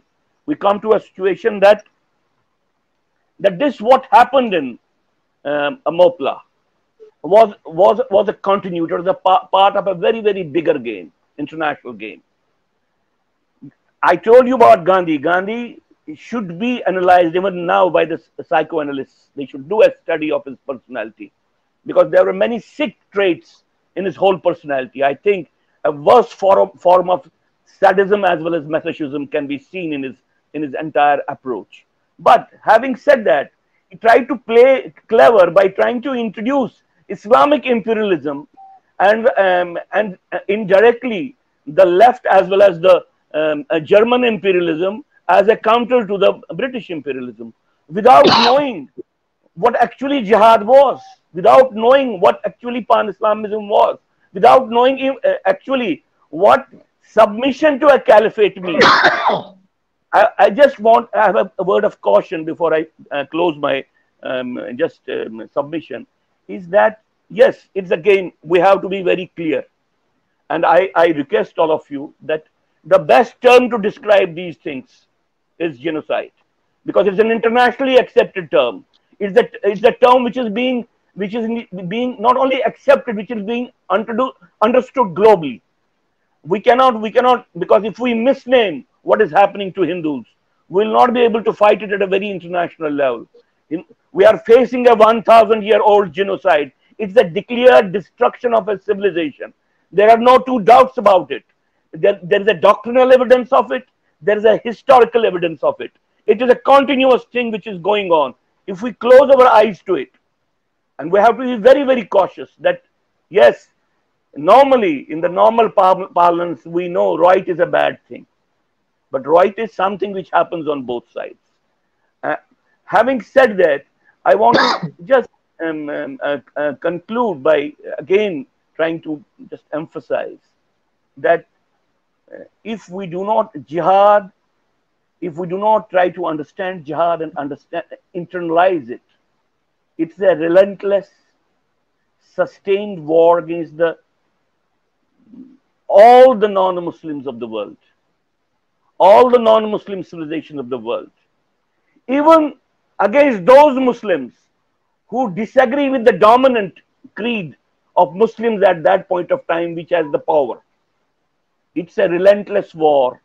It is a ceaseless war. We cannot close, and it is an irrational war. It's not because of uneducation it happens. It's not because of illiteracy it happens. It is not because of, because of poverty it happens. It happens because of it's, it's a concept of dominating the world. It's a, it's a totalitarian war, far more ruthless than the Nazi totalitarianism. And the moment we see it from this angle, then we will be able to um, mobilize ourselves in the coming days to face it and to defeat it.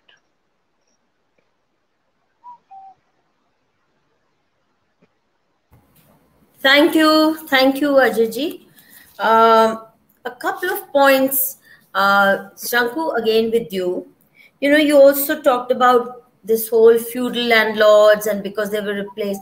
I think this vocabulary just as Dr. Chrungoo is right in saying that the right word is genocide, uh, not riots, not not disturbances, not this, not that. Similarly, India pre-British had no history of landlordism. Let's be very clear. It was a land of peasant proprietors. No king claimed to own land. The Hindu kings pre-British were entitled only to a small portion of revenue. And we had this notion, sab bhumi gopal ki, raja ki nahi hoti thi, raja ki nahi hoti thi. And in a land where land man ratio was in favor of human beings, which reversed during colonial rule, if you didn't like the ruler, you just moved out and set base elsewhere. So there was no shortage of land and we didn't have landlordism. Similarly, landless poor labor. This is direct outcome of British rule, very well established by historians, especially the pioneering work done by Sri Dharampalji. I advise you, I urge you to read it. The origins of bonded labor and slavery during colonial rule from their own documents, what they did here to turn huge armies of peasant proprietors into landless poor because the revenue was so extortionist that a lot of people, lot of landowners who couldn't pay the revenue, therefore they lost the land. That's how landless poor came about. Now, coming to another point, uh, you know, they talk about, they gave this two nation theory, um, Jinnah and others, and they actually implemented it. I'm coming to the conclusion, con- totally contrary to what Mohan Bhagwat said about we having the same DNA. I think Islam changes the DNA. Christianity changes the DNA of people because our DNA is a lot determined by sanskars. And the sanskars are violence, all those things which are dharmic civilization considers unforgiven, unforgivable actions. इतने पाप अधर्म वो सब को incentivise करते हैं लूट and plunder rape and abduction of women is incentivized. Torturing people to death is incentivized. You're promised not only rewards in this world, but also up there. पूरे मिलेंगे तो डीएनए संस्कार से बनता है DNA is not just what you inherit uh, which is why for example people who do yoga uh, adhyatm do meditation do all you know it's been found that your entire uh, DNA structure starts evolving in a different direction. It's not that it remains the same. So if my great grandfather had X DNA, it remains unchanged uh, altogether. Now, coming to some comments that people have posted, I need to read out because all of them can't speak on, you know, come, can't come on screen. KSR Menon, A, I'm glad some people from Kerala there. Mr. Menon writes, Imagine these rioters were given pension as freedom fighters. Those of you who know about this, please send me a detailed note. I'd like to publish it.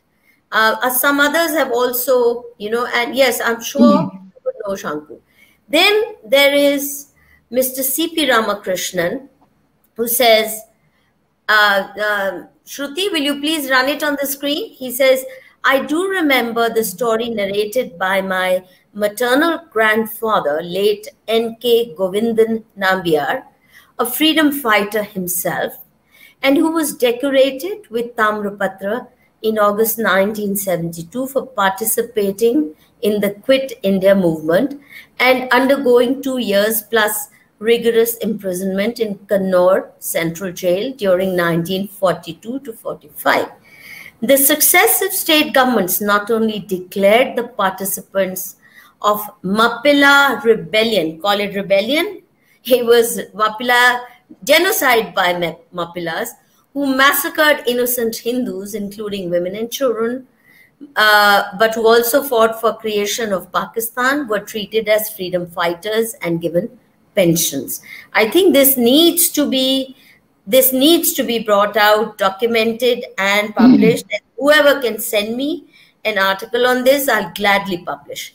Now I'm going to read out something very moving and important by Professor Daksh Lohia, who I thought would join us and be able to read it out himself. But he, since he has not managed to get the link which give him, gives him backend access, I'm going to read out this on behalf of Professor Daksh Lohia. He's a physicist, a professor of physics. He says, Yesterday, Sandeep Balakrishnan recalled that in his statement in the Ahmedabad Adhiveshan of the Congress, Gandhiji stated that had the British listened to Hasrat Mohani, the Mopla incident would not have occurred. This same Mohani was given the status of a freedom fighter and a stamp was issued in his memory in 2014. it would be interesting to see what Hasrat Mohani had to advise the British. And he stated this in his famous speech just after the Mopla massacre.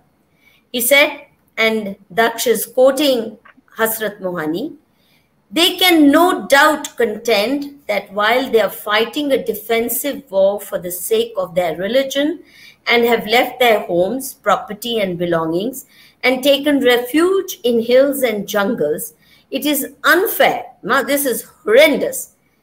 Mohani says it is unfair to characterize as plunder they come, their commandeering of money, provisions, and other necessaries for their troops. And he goes on to add, in this connection, I should like to say just one word.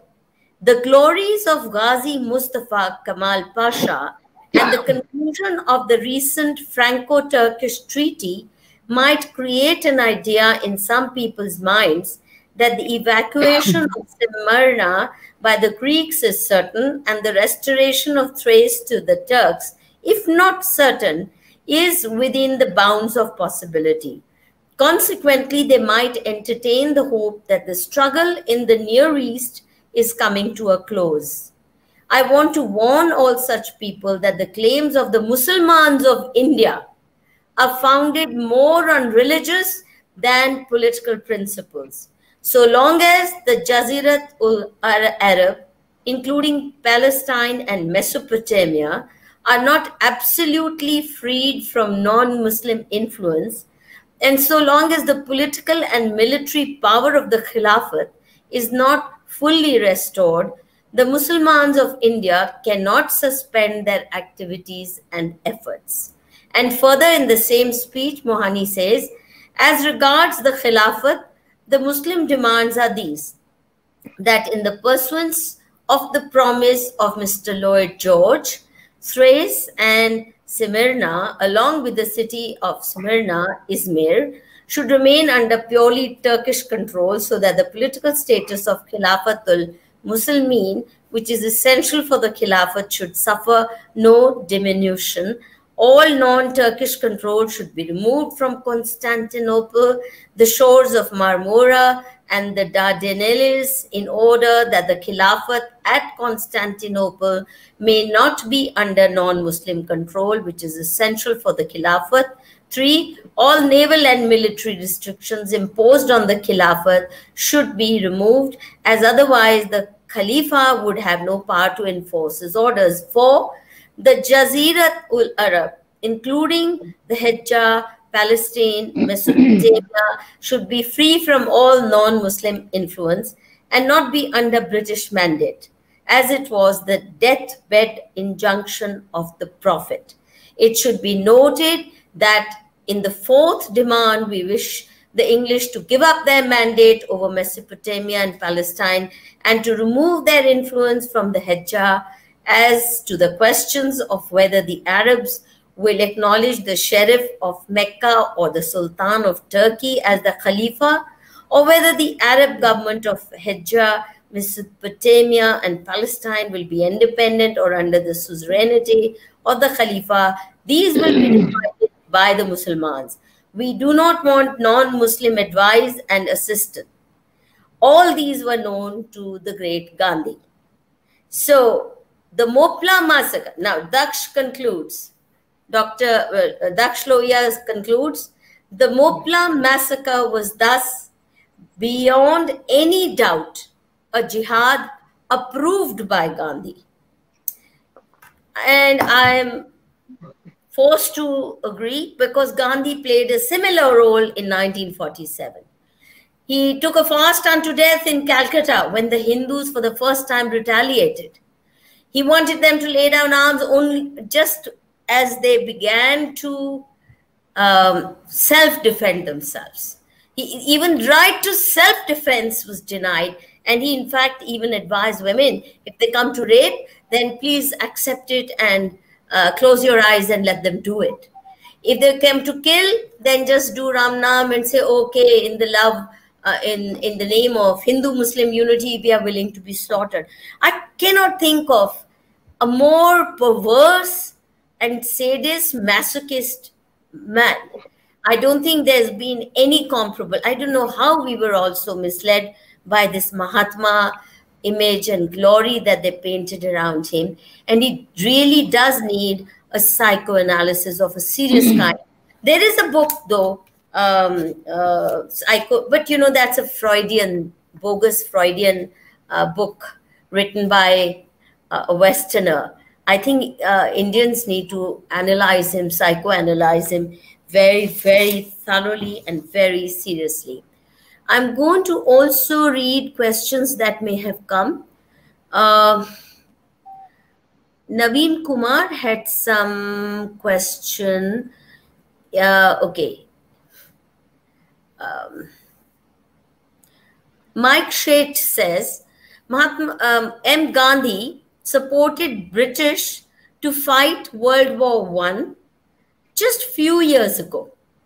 He was recruiting Indians to go fight on behalf of the British. You have to be a crackpot. Then, we, within no time, he's now supporting Khilafat and going after the Ali brothers. Okay, then a question again what evidence exists on Congress's calculation of using Islamic anger versus simply appeasement? I think com- comment. Um, another anti jihad class says whims of Gandhi paralleling that of Modi. Okay. BK Singmail says excellent presentation. Payani Gao huh, wants um, uh, Advocate Das wants pact on Khilafat and Swaraj movement. Reference, please. So if you can, uh, if what references, I don't know what she wants. And uh, I didn't hear her question properly. What what was? It says, can you read it on the screen? It says reference, please. Pact on Khilafat and Swaraj movement. I don't think there was a pact as such. I do. I, Gandhi just dragged the Congress in, right? Yeah, but but but the the details of resolutions are included in uh, Gandhi and Anarchy, written by C. Shankaran Nair, Chetur Shankaran Nair. Uh, he was the only Malayali president of uh, All India Congress Committee. He was the uh, so he has written a extensive uh, book that is called Gandhi and Anarchy. Then there is the history of Congress Party written by Sitaramayya. Pattabhi Sitaramayya. Pattabhi Sitaramayya also explains the uh, Khilafat uh, Swaraj Cooperation. And there are other books also, like, uh, but they are, uh, yeah. my references basically mostly are Malayalam. I don't know whether that will be useful for her. But okay. there are num- number, number of references are there. I think you should post a bibliography when, when we publish your article. Then you should post the bibliography or the reading list in Malayalam also it may encourage people to start translating into English and Hindi. Yes, yes. Okay. Then Rama Goyal says excellent analysis about non-role of Congress in freedom movement. I would say it's a perverse role, Rama, not non-role, and of Muslim League and Gandhi in uh, joining together Jugalbandi for creation of Pakistan. Yes, no doubt. There is still Gandhi's blunders in Noakhali genocide in Bengal to talk about. Oh, yes, I hope we will bring that dimension too soon. There, okay, then. that was 1945. That's right. That's right. That's right.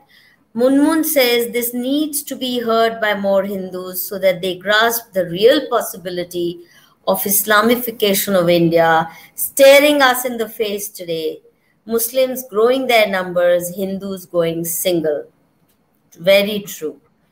Uh, demographic imbalances are really uh, one of the most serious challenges. And that's why I'm really worried about this two child policy being enforced in some parts of India.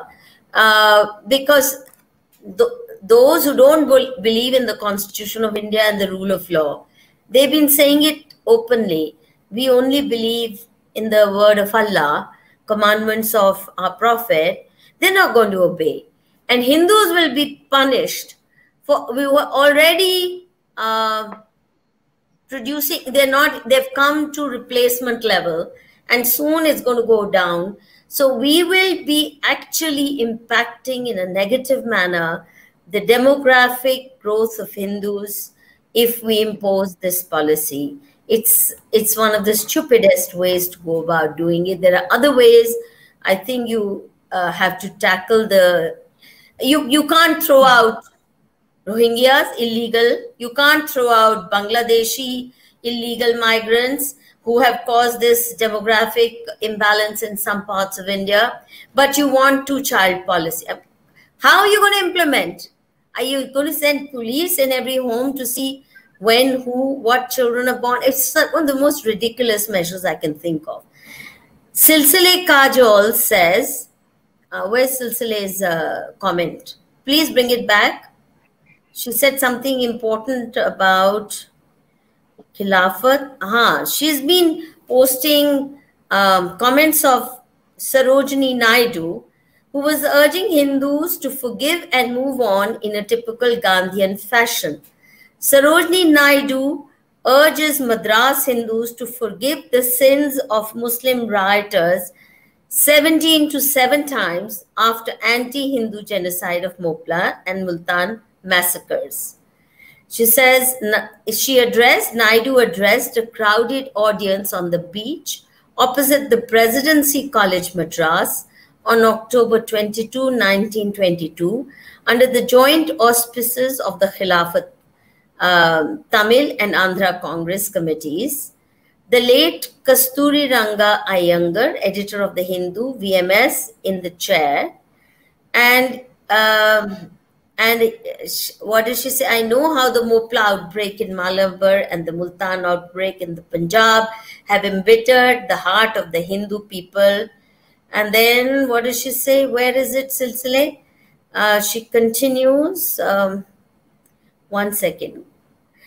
If the Hindus with their, yeah, this is the uh, crux of the matter. Sarojini Naidu's um, saintly halo if the Hindus, with their great culture, their ideal of satyagraha, and their gospel of ahimsa, cannot endure to the uttermost and forgive 70 times 7 the sins of any small community, um, what is the use of our, all our boast of that which the 3,000 years of culture have taught us? I mean, bizarre to say accept self decimation simply because you have a great culture.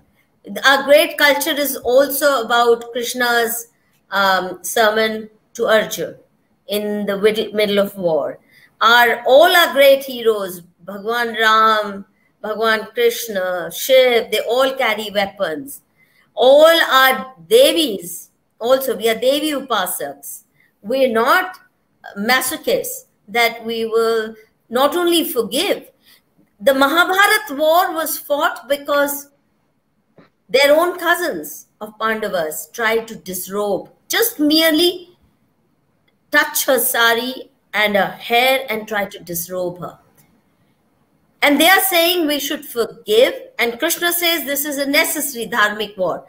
And Sarojini Naidu says all the gang rapes, all the abductions, all the humiliations heaped on women, and the burning alive of Hindus and kids and destruction of their homes and habitats and their culture.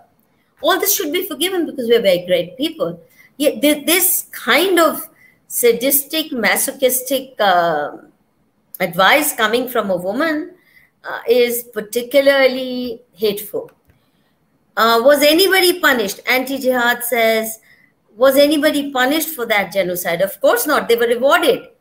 Uh, uh, nobody punished for genocide of Kashmiri Pandits either. Of course not. Not one person yet. Even if there's not a single FIR. I'm sure uh, Dr. Chrungoo will talk about that. So, uh, Ashutosh Jaiswal, uh, will you bring him in? Bharat M says, Dear sir, I find most Keralites place themselves higher on the intellectual and secular scale, but how can they be so oblivious to this systematic genocide? This secular scale is what has destroyed us. It's a bastardized version of secularism. France is at least serious about its secularism, you know, and they, they try to implement it with a measure of seriousness. This is not secularism this is a bastardized version of enabling and assisting the triumph of a deadly cult, which is out to destroy humanity. And it's carried this kind of footprint everywhere. Uh, are there any questions to Shankudas? Ashutosh Jaiswal, Sri Aurobindo had said on the then, this is very important, on the then Congress leaders Gandhi, Nehru, that current leadership of Congress is one-eyed, if not be called as blind men. True? Very true. Uh, Shruti, you had brought some other there's Avinash Rai asking you a question. I'm more interested in questions to you. Ajay ji, how do you suggest to stop our critical national instruments, all four pillars from being used by anti-Hindu or anti-India forces in their favor, or freeing us from that alternatively? I would like Shanku and Dr. Ajay Chrungoo both to answer this question. Shanku had to say something more also. He was trying to let, let yes, him let him complete.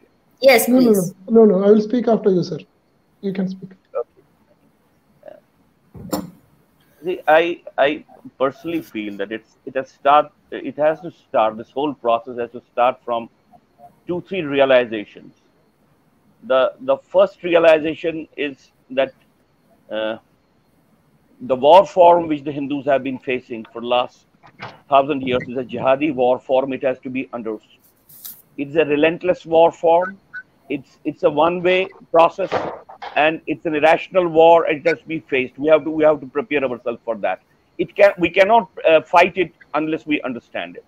The second thing is the state which was which uh, ultimately uh, was created after the independence of india or the partition of india that state is at cross with the civilization of india. In fact i have been saying it um, for quite some time that pakistan is a genocidal state. And indian state is a state based on denial of genocide. It has not responded to the genocidal attrition against the Indians, particularly against the Hindus, right from 47, 1947. What happens to the non-Muslims in Pakistan? It didn't respond. What happened to the non-Muslims in the subsequent in in uh, POJK? It didn't respond. It was the responsibility of the Indian state to respond to it. It didn't respond to the uh, genocide of Hindus and Bengalis in Bangladesh. It did not respond to the genocide of Hindus in Kashmir. It is not responding to the building genocidal attrition in West Bengal, Assam, and Kerala.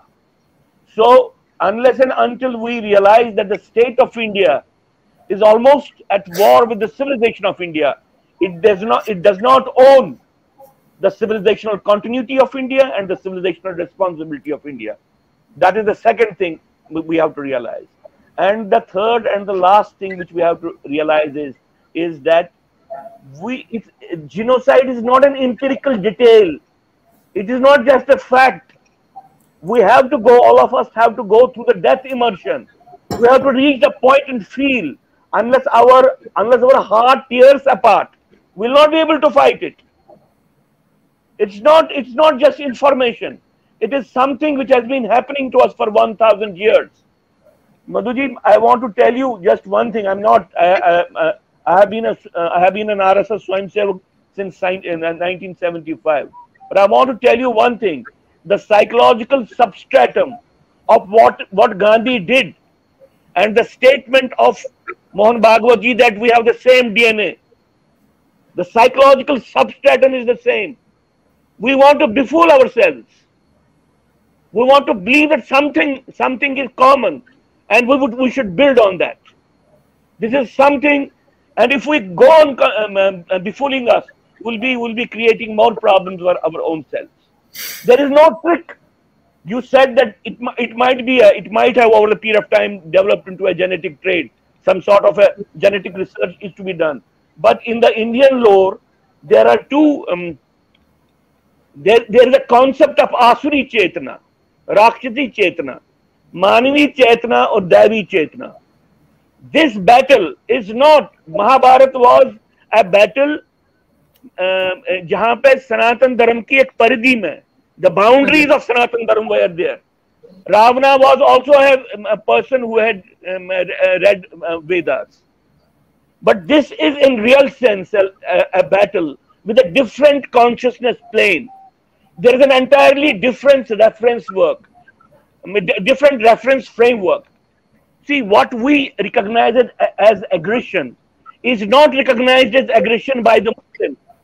I'll just give an example stop here. The day Prophet declared his prophethood and declared Islam, the birth of Islam, that very day all the non-Muslims were aggressors against the Muslims. That very day, by that logic, who is an aggressor in the jihadi concept? who is an aggressor in the uh, aggressor in the Muslim concept? The person who does not accept Islam as the last word. He is an aggressor. So the concepts of peace, concepts of justice, and concepts of aggression, they're entirely different. So th these are two reference frameworks. We cannot under understand Islam in our reference framework. And the more we do it, the more self-laceration will create. I agree with you fully. And I would also add to this, uh, Avinash, in response to your question, uh, which is that uh, you've also been a Sanghi. All my 45 years, I see, is stuck at the police station and no. I, I, I can understand um, where you're heading, uh, what you're hinting at. And it is true, Avinashji, that Hindus need to prepare for self defense. Every mohalla, every city, every village has to ready itself for self defense.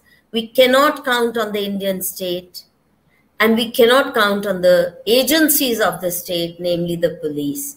It's number one, prepare for self-defense. Secondly, which is also very important, start banging at the government. We don't bang at them enough the way Dr. Chrungoo bangs at them. Too many of us keep quiet thinking, oh, if we criticize the current government, then the enemies of this government will come in. They are, are only. No, I'm not saying we want any government to be dislodged. But we certainly want the government to be responsive to security uh, threats, very, existential security threats that are faced by Hindus. None of us are safe today. I've never felt so unsafe in India, in my sitting in my home in Delhi as I do today. It's like decimation is staring us, at us in the face. Shanku, you wanted to say something. Yes, I actually wanted to add something like uh, throughout the debate uh, regarding various points that was raised at various point uh, time. I wanted to add something like uh, there was a question about giving pension to the uh, the people who participated in the Lahala or the massacre. In 1971, on the 50th anniversary of Mappila Hala or the Malabar massacre, the government of Kerala, led by C. H. Achyuta uh, who was a CPI leader, and the, the alliance was supported by Congress. K. Karunakaran was the Home Minister. Uh, the 1971 Achyuta Menon ministry decided uh, to give pension to the uh, people who participated in the Malabar massacre. Uh, it was it was considered to be uh, a part of freedom struggle. Again, in 1971, or during the same 50th anniversary, a, a, motion was introduced in the Parliament of India. Indira Gandhi was the Prime Minister, and Indira Gandhi government promised that the government of India will consider the people who participated in the Malabar massacre as freedom fighters, and they will be given pension. Uh, later in 1991, E. Ahmad, a member of Muslim League who was the uh, um, MP from Malappuram, raised the issue again in Parliament in 1991, saying that an assurance was given to us 20 years before by Indira Gandhi government, but no, pe- no person has yet received any pension. So the government should look into it.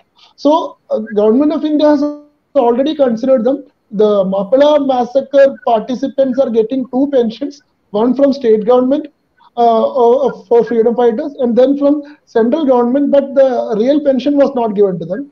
Then in 2019, uh, the Ministry of Culture and ICHR, uh, in, in Indian Council for Historical Research, in 2019 published a directory of martyrs of Indian freedom struggle.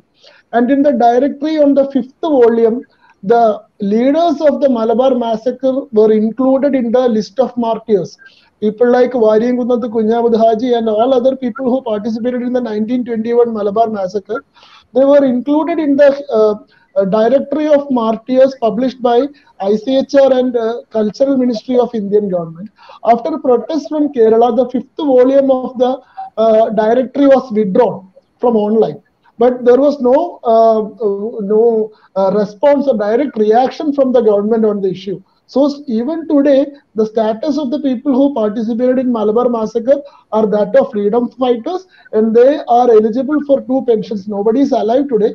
Hundred years have passed, but that is the uh, that is the current position of the people who participated in this. Then coming to that, uh, Gandhi being aware of uh, the jihadi tendencies involved in this uh, Khilafat movement, Gandhi was well aware.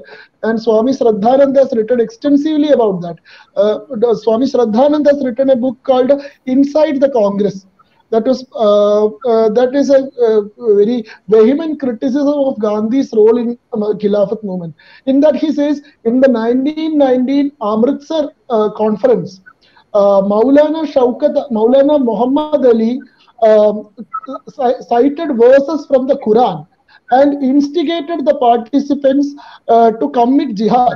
When Swami Shraddhananda brought this to Gandhi's notice, Gandhi consoled him by saying that the kafir in those references are addressed towards the Britishers and not towards Hindus. And Swami Shraddhananda writes that I cautioned him that today it may be the Britishers, but tomorrow it can be the Hindus also, because the word kafir means the non-believers. Again, in 1923, when Swami, uh, uh, in 1923, when Swami, uh, when um, the lit, letter was written by Maulana Muhammad Ali to the Amir of Amir Amanullah of Afghanistan for asking him to attack India. Uh, he, he, was he was arrested by the Britishers and questioned, and he was subsequently released when he was uh, confronted by the Congress workers in a, in a conference of the Congress party, uh, Swami Shraddhanand asked Mr. Maulana Muhammad Ali, why did you write such a letter? Swami Shraddhanand writes, and he he showed me a draft of the letter, and I was shocked beyond proportions to see the uh, the Gandhi's handwriting on the draft. So the uh, the draft was written by Gandhi himself, uh, inviting Amir Amanullah to attack India. And when so Swami Shraddhanand questioned Gandhi regarding this, Gandhi said that I don't remember having written such a letter. Then, when Maulana Muhammad Ali was arrested again, Gandhi did a very passionate speech uh, for the release of Maulana Muhammad Ali, in which he says that if inviting um, um, Amir Amanullah of Afghanistan to invade India is Maulana's crime, I am uh, I am guilty of the same crime, and I will do that again. If the uh, uh, if, if the Britishers decide if the uh, in case of an invasion by the Afghani uh, Ama- Am- uh, Amir, and this the Britishers are trying to throw him out, I can declare today and I can promise today that he will not be getting the support of any of the Indian Hindus. That was the statement given by Gandhi. And Gandhi again says that if my brothers, if my brothers are in jail for uh, doing this, I don't know why I'm out today free because I have done the same thing this uh, Maulana Gandhi was having this uh, this huge uh, what to say this uh, loyalty for Ali brothers. Uh, that is why uh, Annie Besant in her letter in, in the Malabar Agony is is provokingly saying that Gandhi and his loved brothers should be brought to Malabar to see for himself what his love for Khilafat has done to the poor Hindus of Malabar. Annie Besant writes that in quote, his loved brothers she's writing that. But it is very interesting to note that this uh, very same Ali brothers um, uh, openly disrespected Gandhi in 1924. In uh, Yeah. repeated, repeatedly in three conferences, Maulana Muhammad Ali makes a statement that no matter how great a person Gandhi may be, I consider him to be lower than the lowest and most heinous of a Muhammadan. Gandhi says that even the lowest of a Muslim is greater than Gandhi. That uh, that is what he says. Then in 1926, uh, Maulana, Ma- Maulana Muhammad Ali makes a statement that uh, the Brit, uh, the uh, the Swaraj that is proposed by so, Swaraj that is proposed by Congress party is actually Hindu Swaraj, and all Muslim uh, mu- and all Muslims should stay away from the Swaraj movement. And Gandhi writes, uh, I can I can read that quote. Um, that is a very interesting quote. He says that I asked Mr. Maulana if he had written. Maulana Shaukat Ali is reported to have said that the independence movement in, is a movement not for Swaraj but for Hindu Raj and against Muslims, and therefore the latter should leave it alone. On reading the report, I wired to the Maulana inquiring whether he was correctly reported. He has kindly replied confirming the report. He has kindly replied confirming the report saying that I have all, asked all the Muslims to withdraw from the Swaraj movement because it is intended at uh, establishing Hindu Swaraj. This happens in 19 uh, this happens in 1930 because in 1922 the uh, Swaraj the Khilafat movement has failed so there was no purpose for sticking with Gandhi anymore then they are withdrawing from this movement and they are openly criticizing Gandhi uh, saying that even the greatest of your Mahatma is considered to be lesser than the lowest of a Muslim uh, Gandhi's uh, this contradictory statements regarding this Malabar rebellion is very much obvious. He uh, makes uh, in, uh, what to say uh, contradictory and contrary statements at many a times. Uh, Gandhi says that uh, first when the reports of atrocities committed by the Moplas reach uh, Delhi in 1921 September, Gandhi says that the brave and God-fearing Muslims of Malabar has done what they thinks to be right for the religion they thinks to be righteous. So I cannot condemn them for doing that. But the uh, next one, Gandhi makes a statement that shameful inhumanity proceeds in Malabar. My Muslim brothers has gone mad. But next time, when the issue is raised again by a volunteer from Malabar, I will read you the uh, read you the answer given by Gandhi.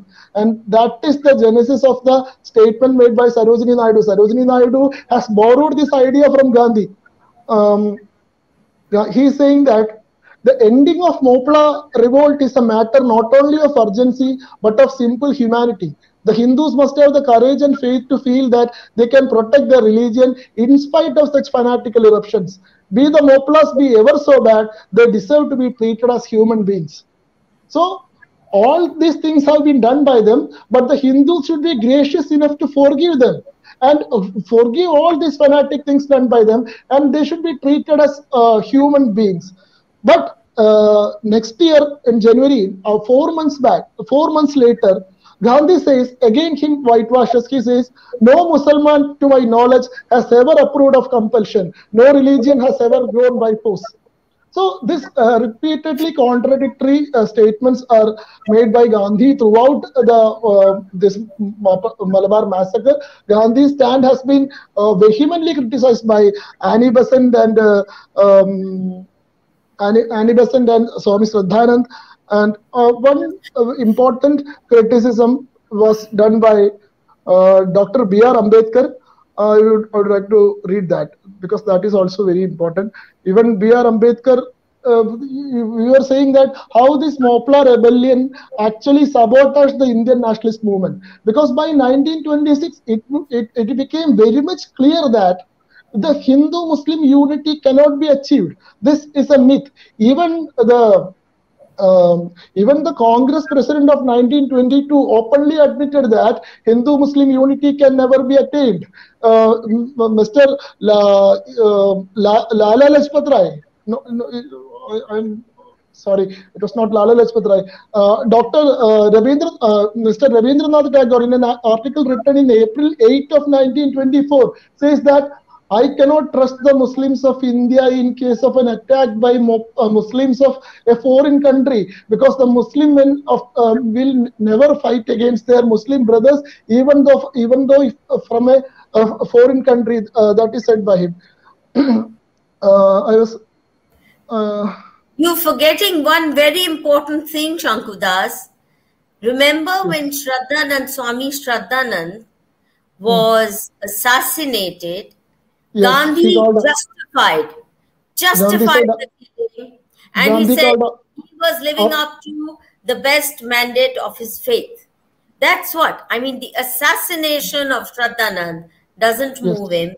He doesn't condemn it. But Bhagat Singh throwing a bomb in which nobody got killed is a bad enough crime for Gandhi to not say a word against Bhagat Singh's hanging, public hanging along with that of two other one of the most i mean among the but they were the man was as i said a pervert to Gandhi ima- called, imagine uh, Gandhi, yeah? Gandhi, Gandhi called Abdul Rashid his brother the one who one who assassinated Swami Shraddhanand, Gandhi yes. in his speech said, "My brother Abdul Rashid, I will not, I will not make him guilty."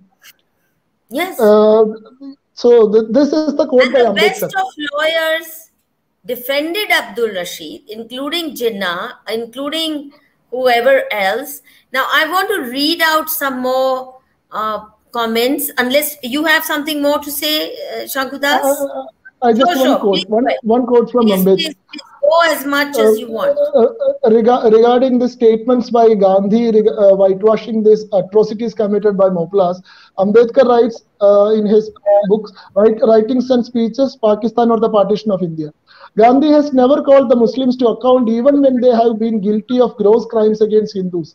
It is a notorious fact that many prominent Hindus who had offended the religious susceptibilities of Muslims, either by writings or by their part in Shuddhi movement, have been murdered by some fanatic Muslims. The leading Muslims never condemned these criminals. On the contrary, they were hailed as religious martyrs. This attitude of Muslims is understandable. What is not understandable is the attitude of Mr. Gandhi. This is written by Dr. Ambedkar.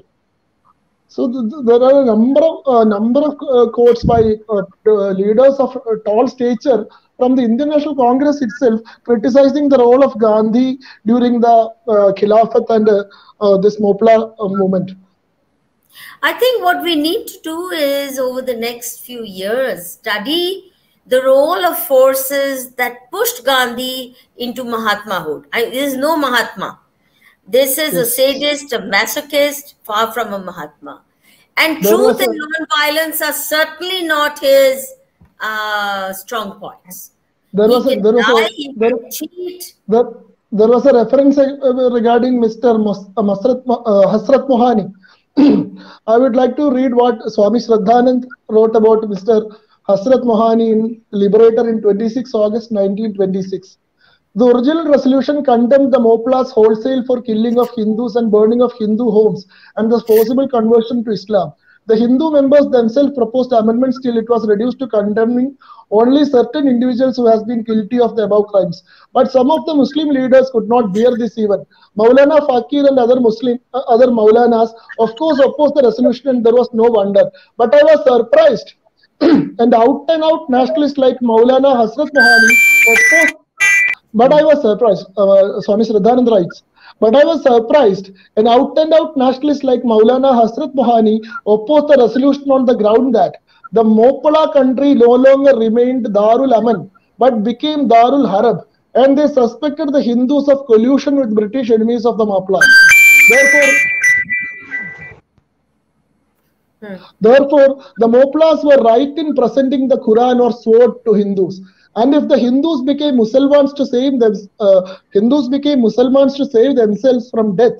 It was a voluntary, Yes. it was a voluntary change of faith and not forcible conversion. Well, even the harmless resolution condemning some of the Moplas was not unanimously passed, but had to be accepted by a majority of votes only. So this was the position taken by Mr. Hasrat Mohani, who is, who is uh, often described as a uh, nationalist and secular leader. You, sh- we should be grateful he's not been given Bharat Ratna. Now, Silsile Kajol writes, in their worldview, someone who doesn't join the ha- jihad is an aggressor. It is shocking. Now, Ramasamy Otisaivu has something important to share by way of information. He writes, uh, Shruti, will you please uh, display it on the screen? Sarojini Naidu's brother, Virendra Chattopadhyay, was a great friend of Muhammad Ali, of Ali brothers fame, and represented the case, the interests of Ali brothers in Russia sponsored jihad.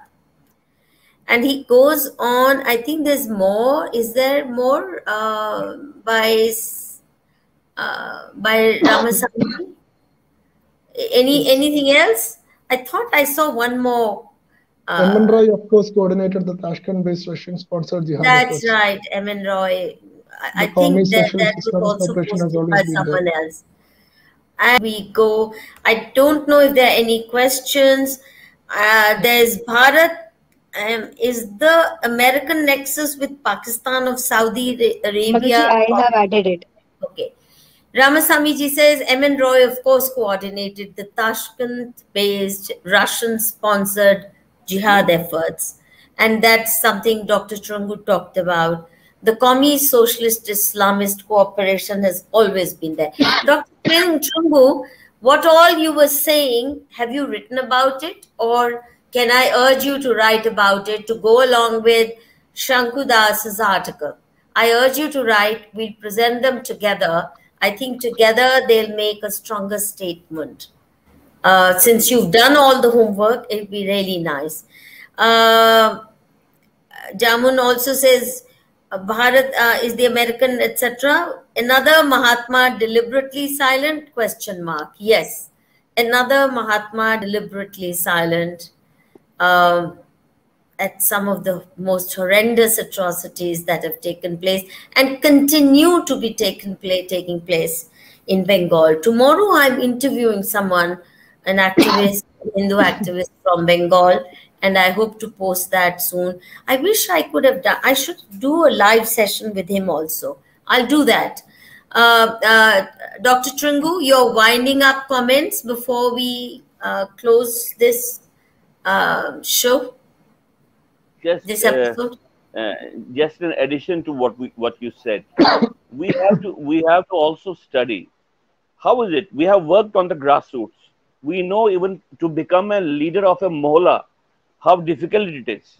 How can a person who comes from um, uh, South Africa and within 10 years finds himself to be the center stage of the politics of the nation? What were the props which ultimately created Gandhi? That is something which has to be looked into it's not just his his, his uh, um, acting or his attire or his postures. There must have been bigger forces who were uh, who were facilitating his catapulting into the central stage or the central leader of the the nation of India. It's not easy to become a leader of a diverse country like India. You have to work very hard. You have to rise from a grass, particularly when you don't have money when you don't have reach. And at a time when uh, when there was no traveling was difficult, it was not so easy. Social media was not there. So I, I somehow feel something bizarre. How could I? He was not a great orator. He was not a great intellectual. He did not look very good, very, impressive. How could he suddenly, simply by donning a dhoti, I don't think uh, he could have become a leader of the country like India, diverse country, a huge country like India. So I, th- that needs to be analyzed, and I think more or yes, less. Yes, I think I think British archives are bound to give us, if somebody were to actually study this, we're bound to get insights into what uh, pro- uh, forces projected Gandhi the way they did, and also Nehru. Nehru, we know, stole the prime ministership from Certainly, Patel. certainly. Nobody wanted him. Nobody in the Congress wanted him, and yet he was imposed on on the Congress as prime minister. There is Uh, another there is another interesting thing that Gandhi Gandhi was active in Indian political arena for 32 years, but he was only arrested for a combined period of six and a half years. But Savarkar was only active in the political arena for three years, but he was arrested for 26 years. He spent his 26 years in jail. So what was that is another uh, question that is all, often being raised because if he was such a threat, if he was the real uh, provider of freedom, why didn't the Britishers actually take some fierce steps against him like they did to Savarkar or some other? or? Bhagat Singh, or Yeah. Bhagat Singh, Bhagat, or Bhagat Singh. True, I think truly these are conspiracies that need to be need to be unraveled, and um, uh, uh, there's another comment. Why is everybody ignoring the affair between capitalists and jihadis?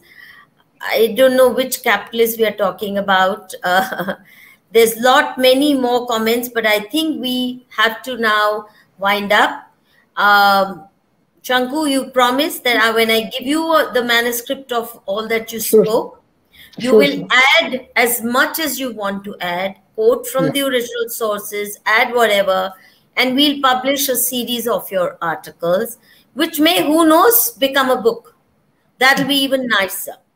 So be prepared to do a series and we will. And Dr. Chrungoo, I urge you also to send me the piece that you just spoke out so spontaneously, but because you are one of our scholar activists, you don't talk loosely. You're not just about emoting, but you actually work hard, Dr. Chrungoo.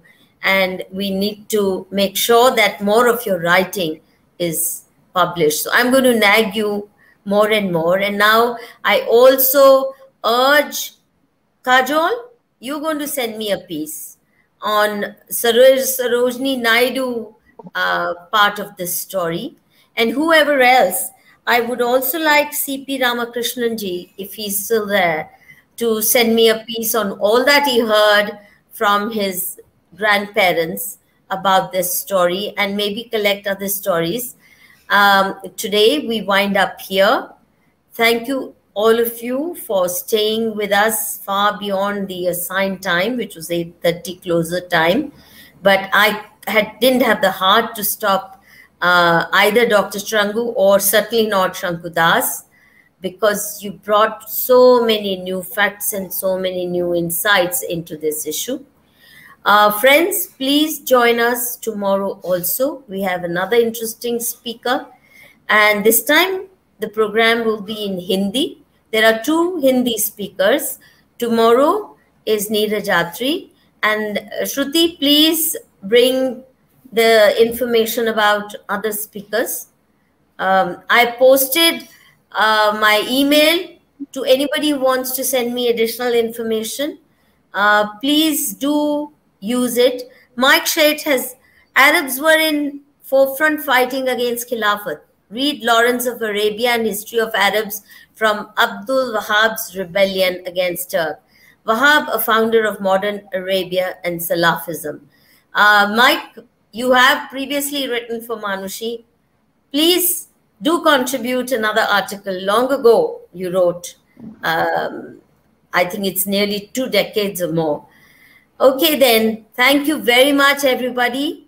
And now, Shruti, please inform. And thank you, Sanku, for your very insightful, in-depth presentation. It Thank you needs to be brought into the English language, and I'll certainly assist you in doing that. And thank you, Dr. Chrungoo, and thank you all those of you who stayed with us till now. Now, Shruti, tomorrow's program and subsequent two days. Namaste.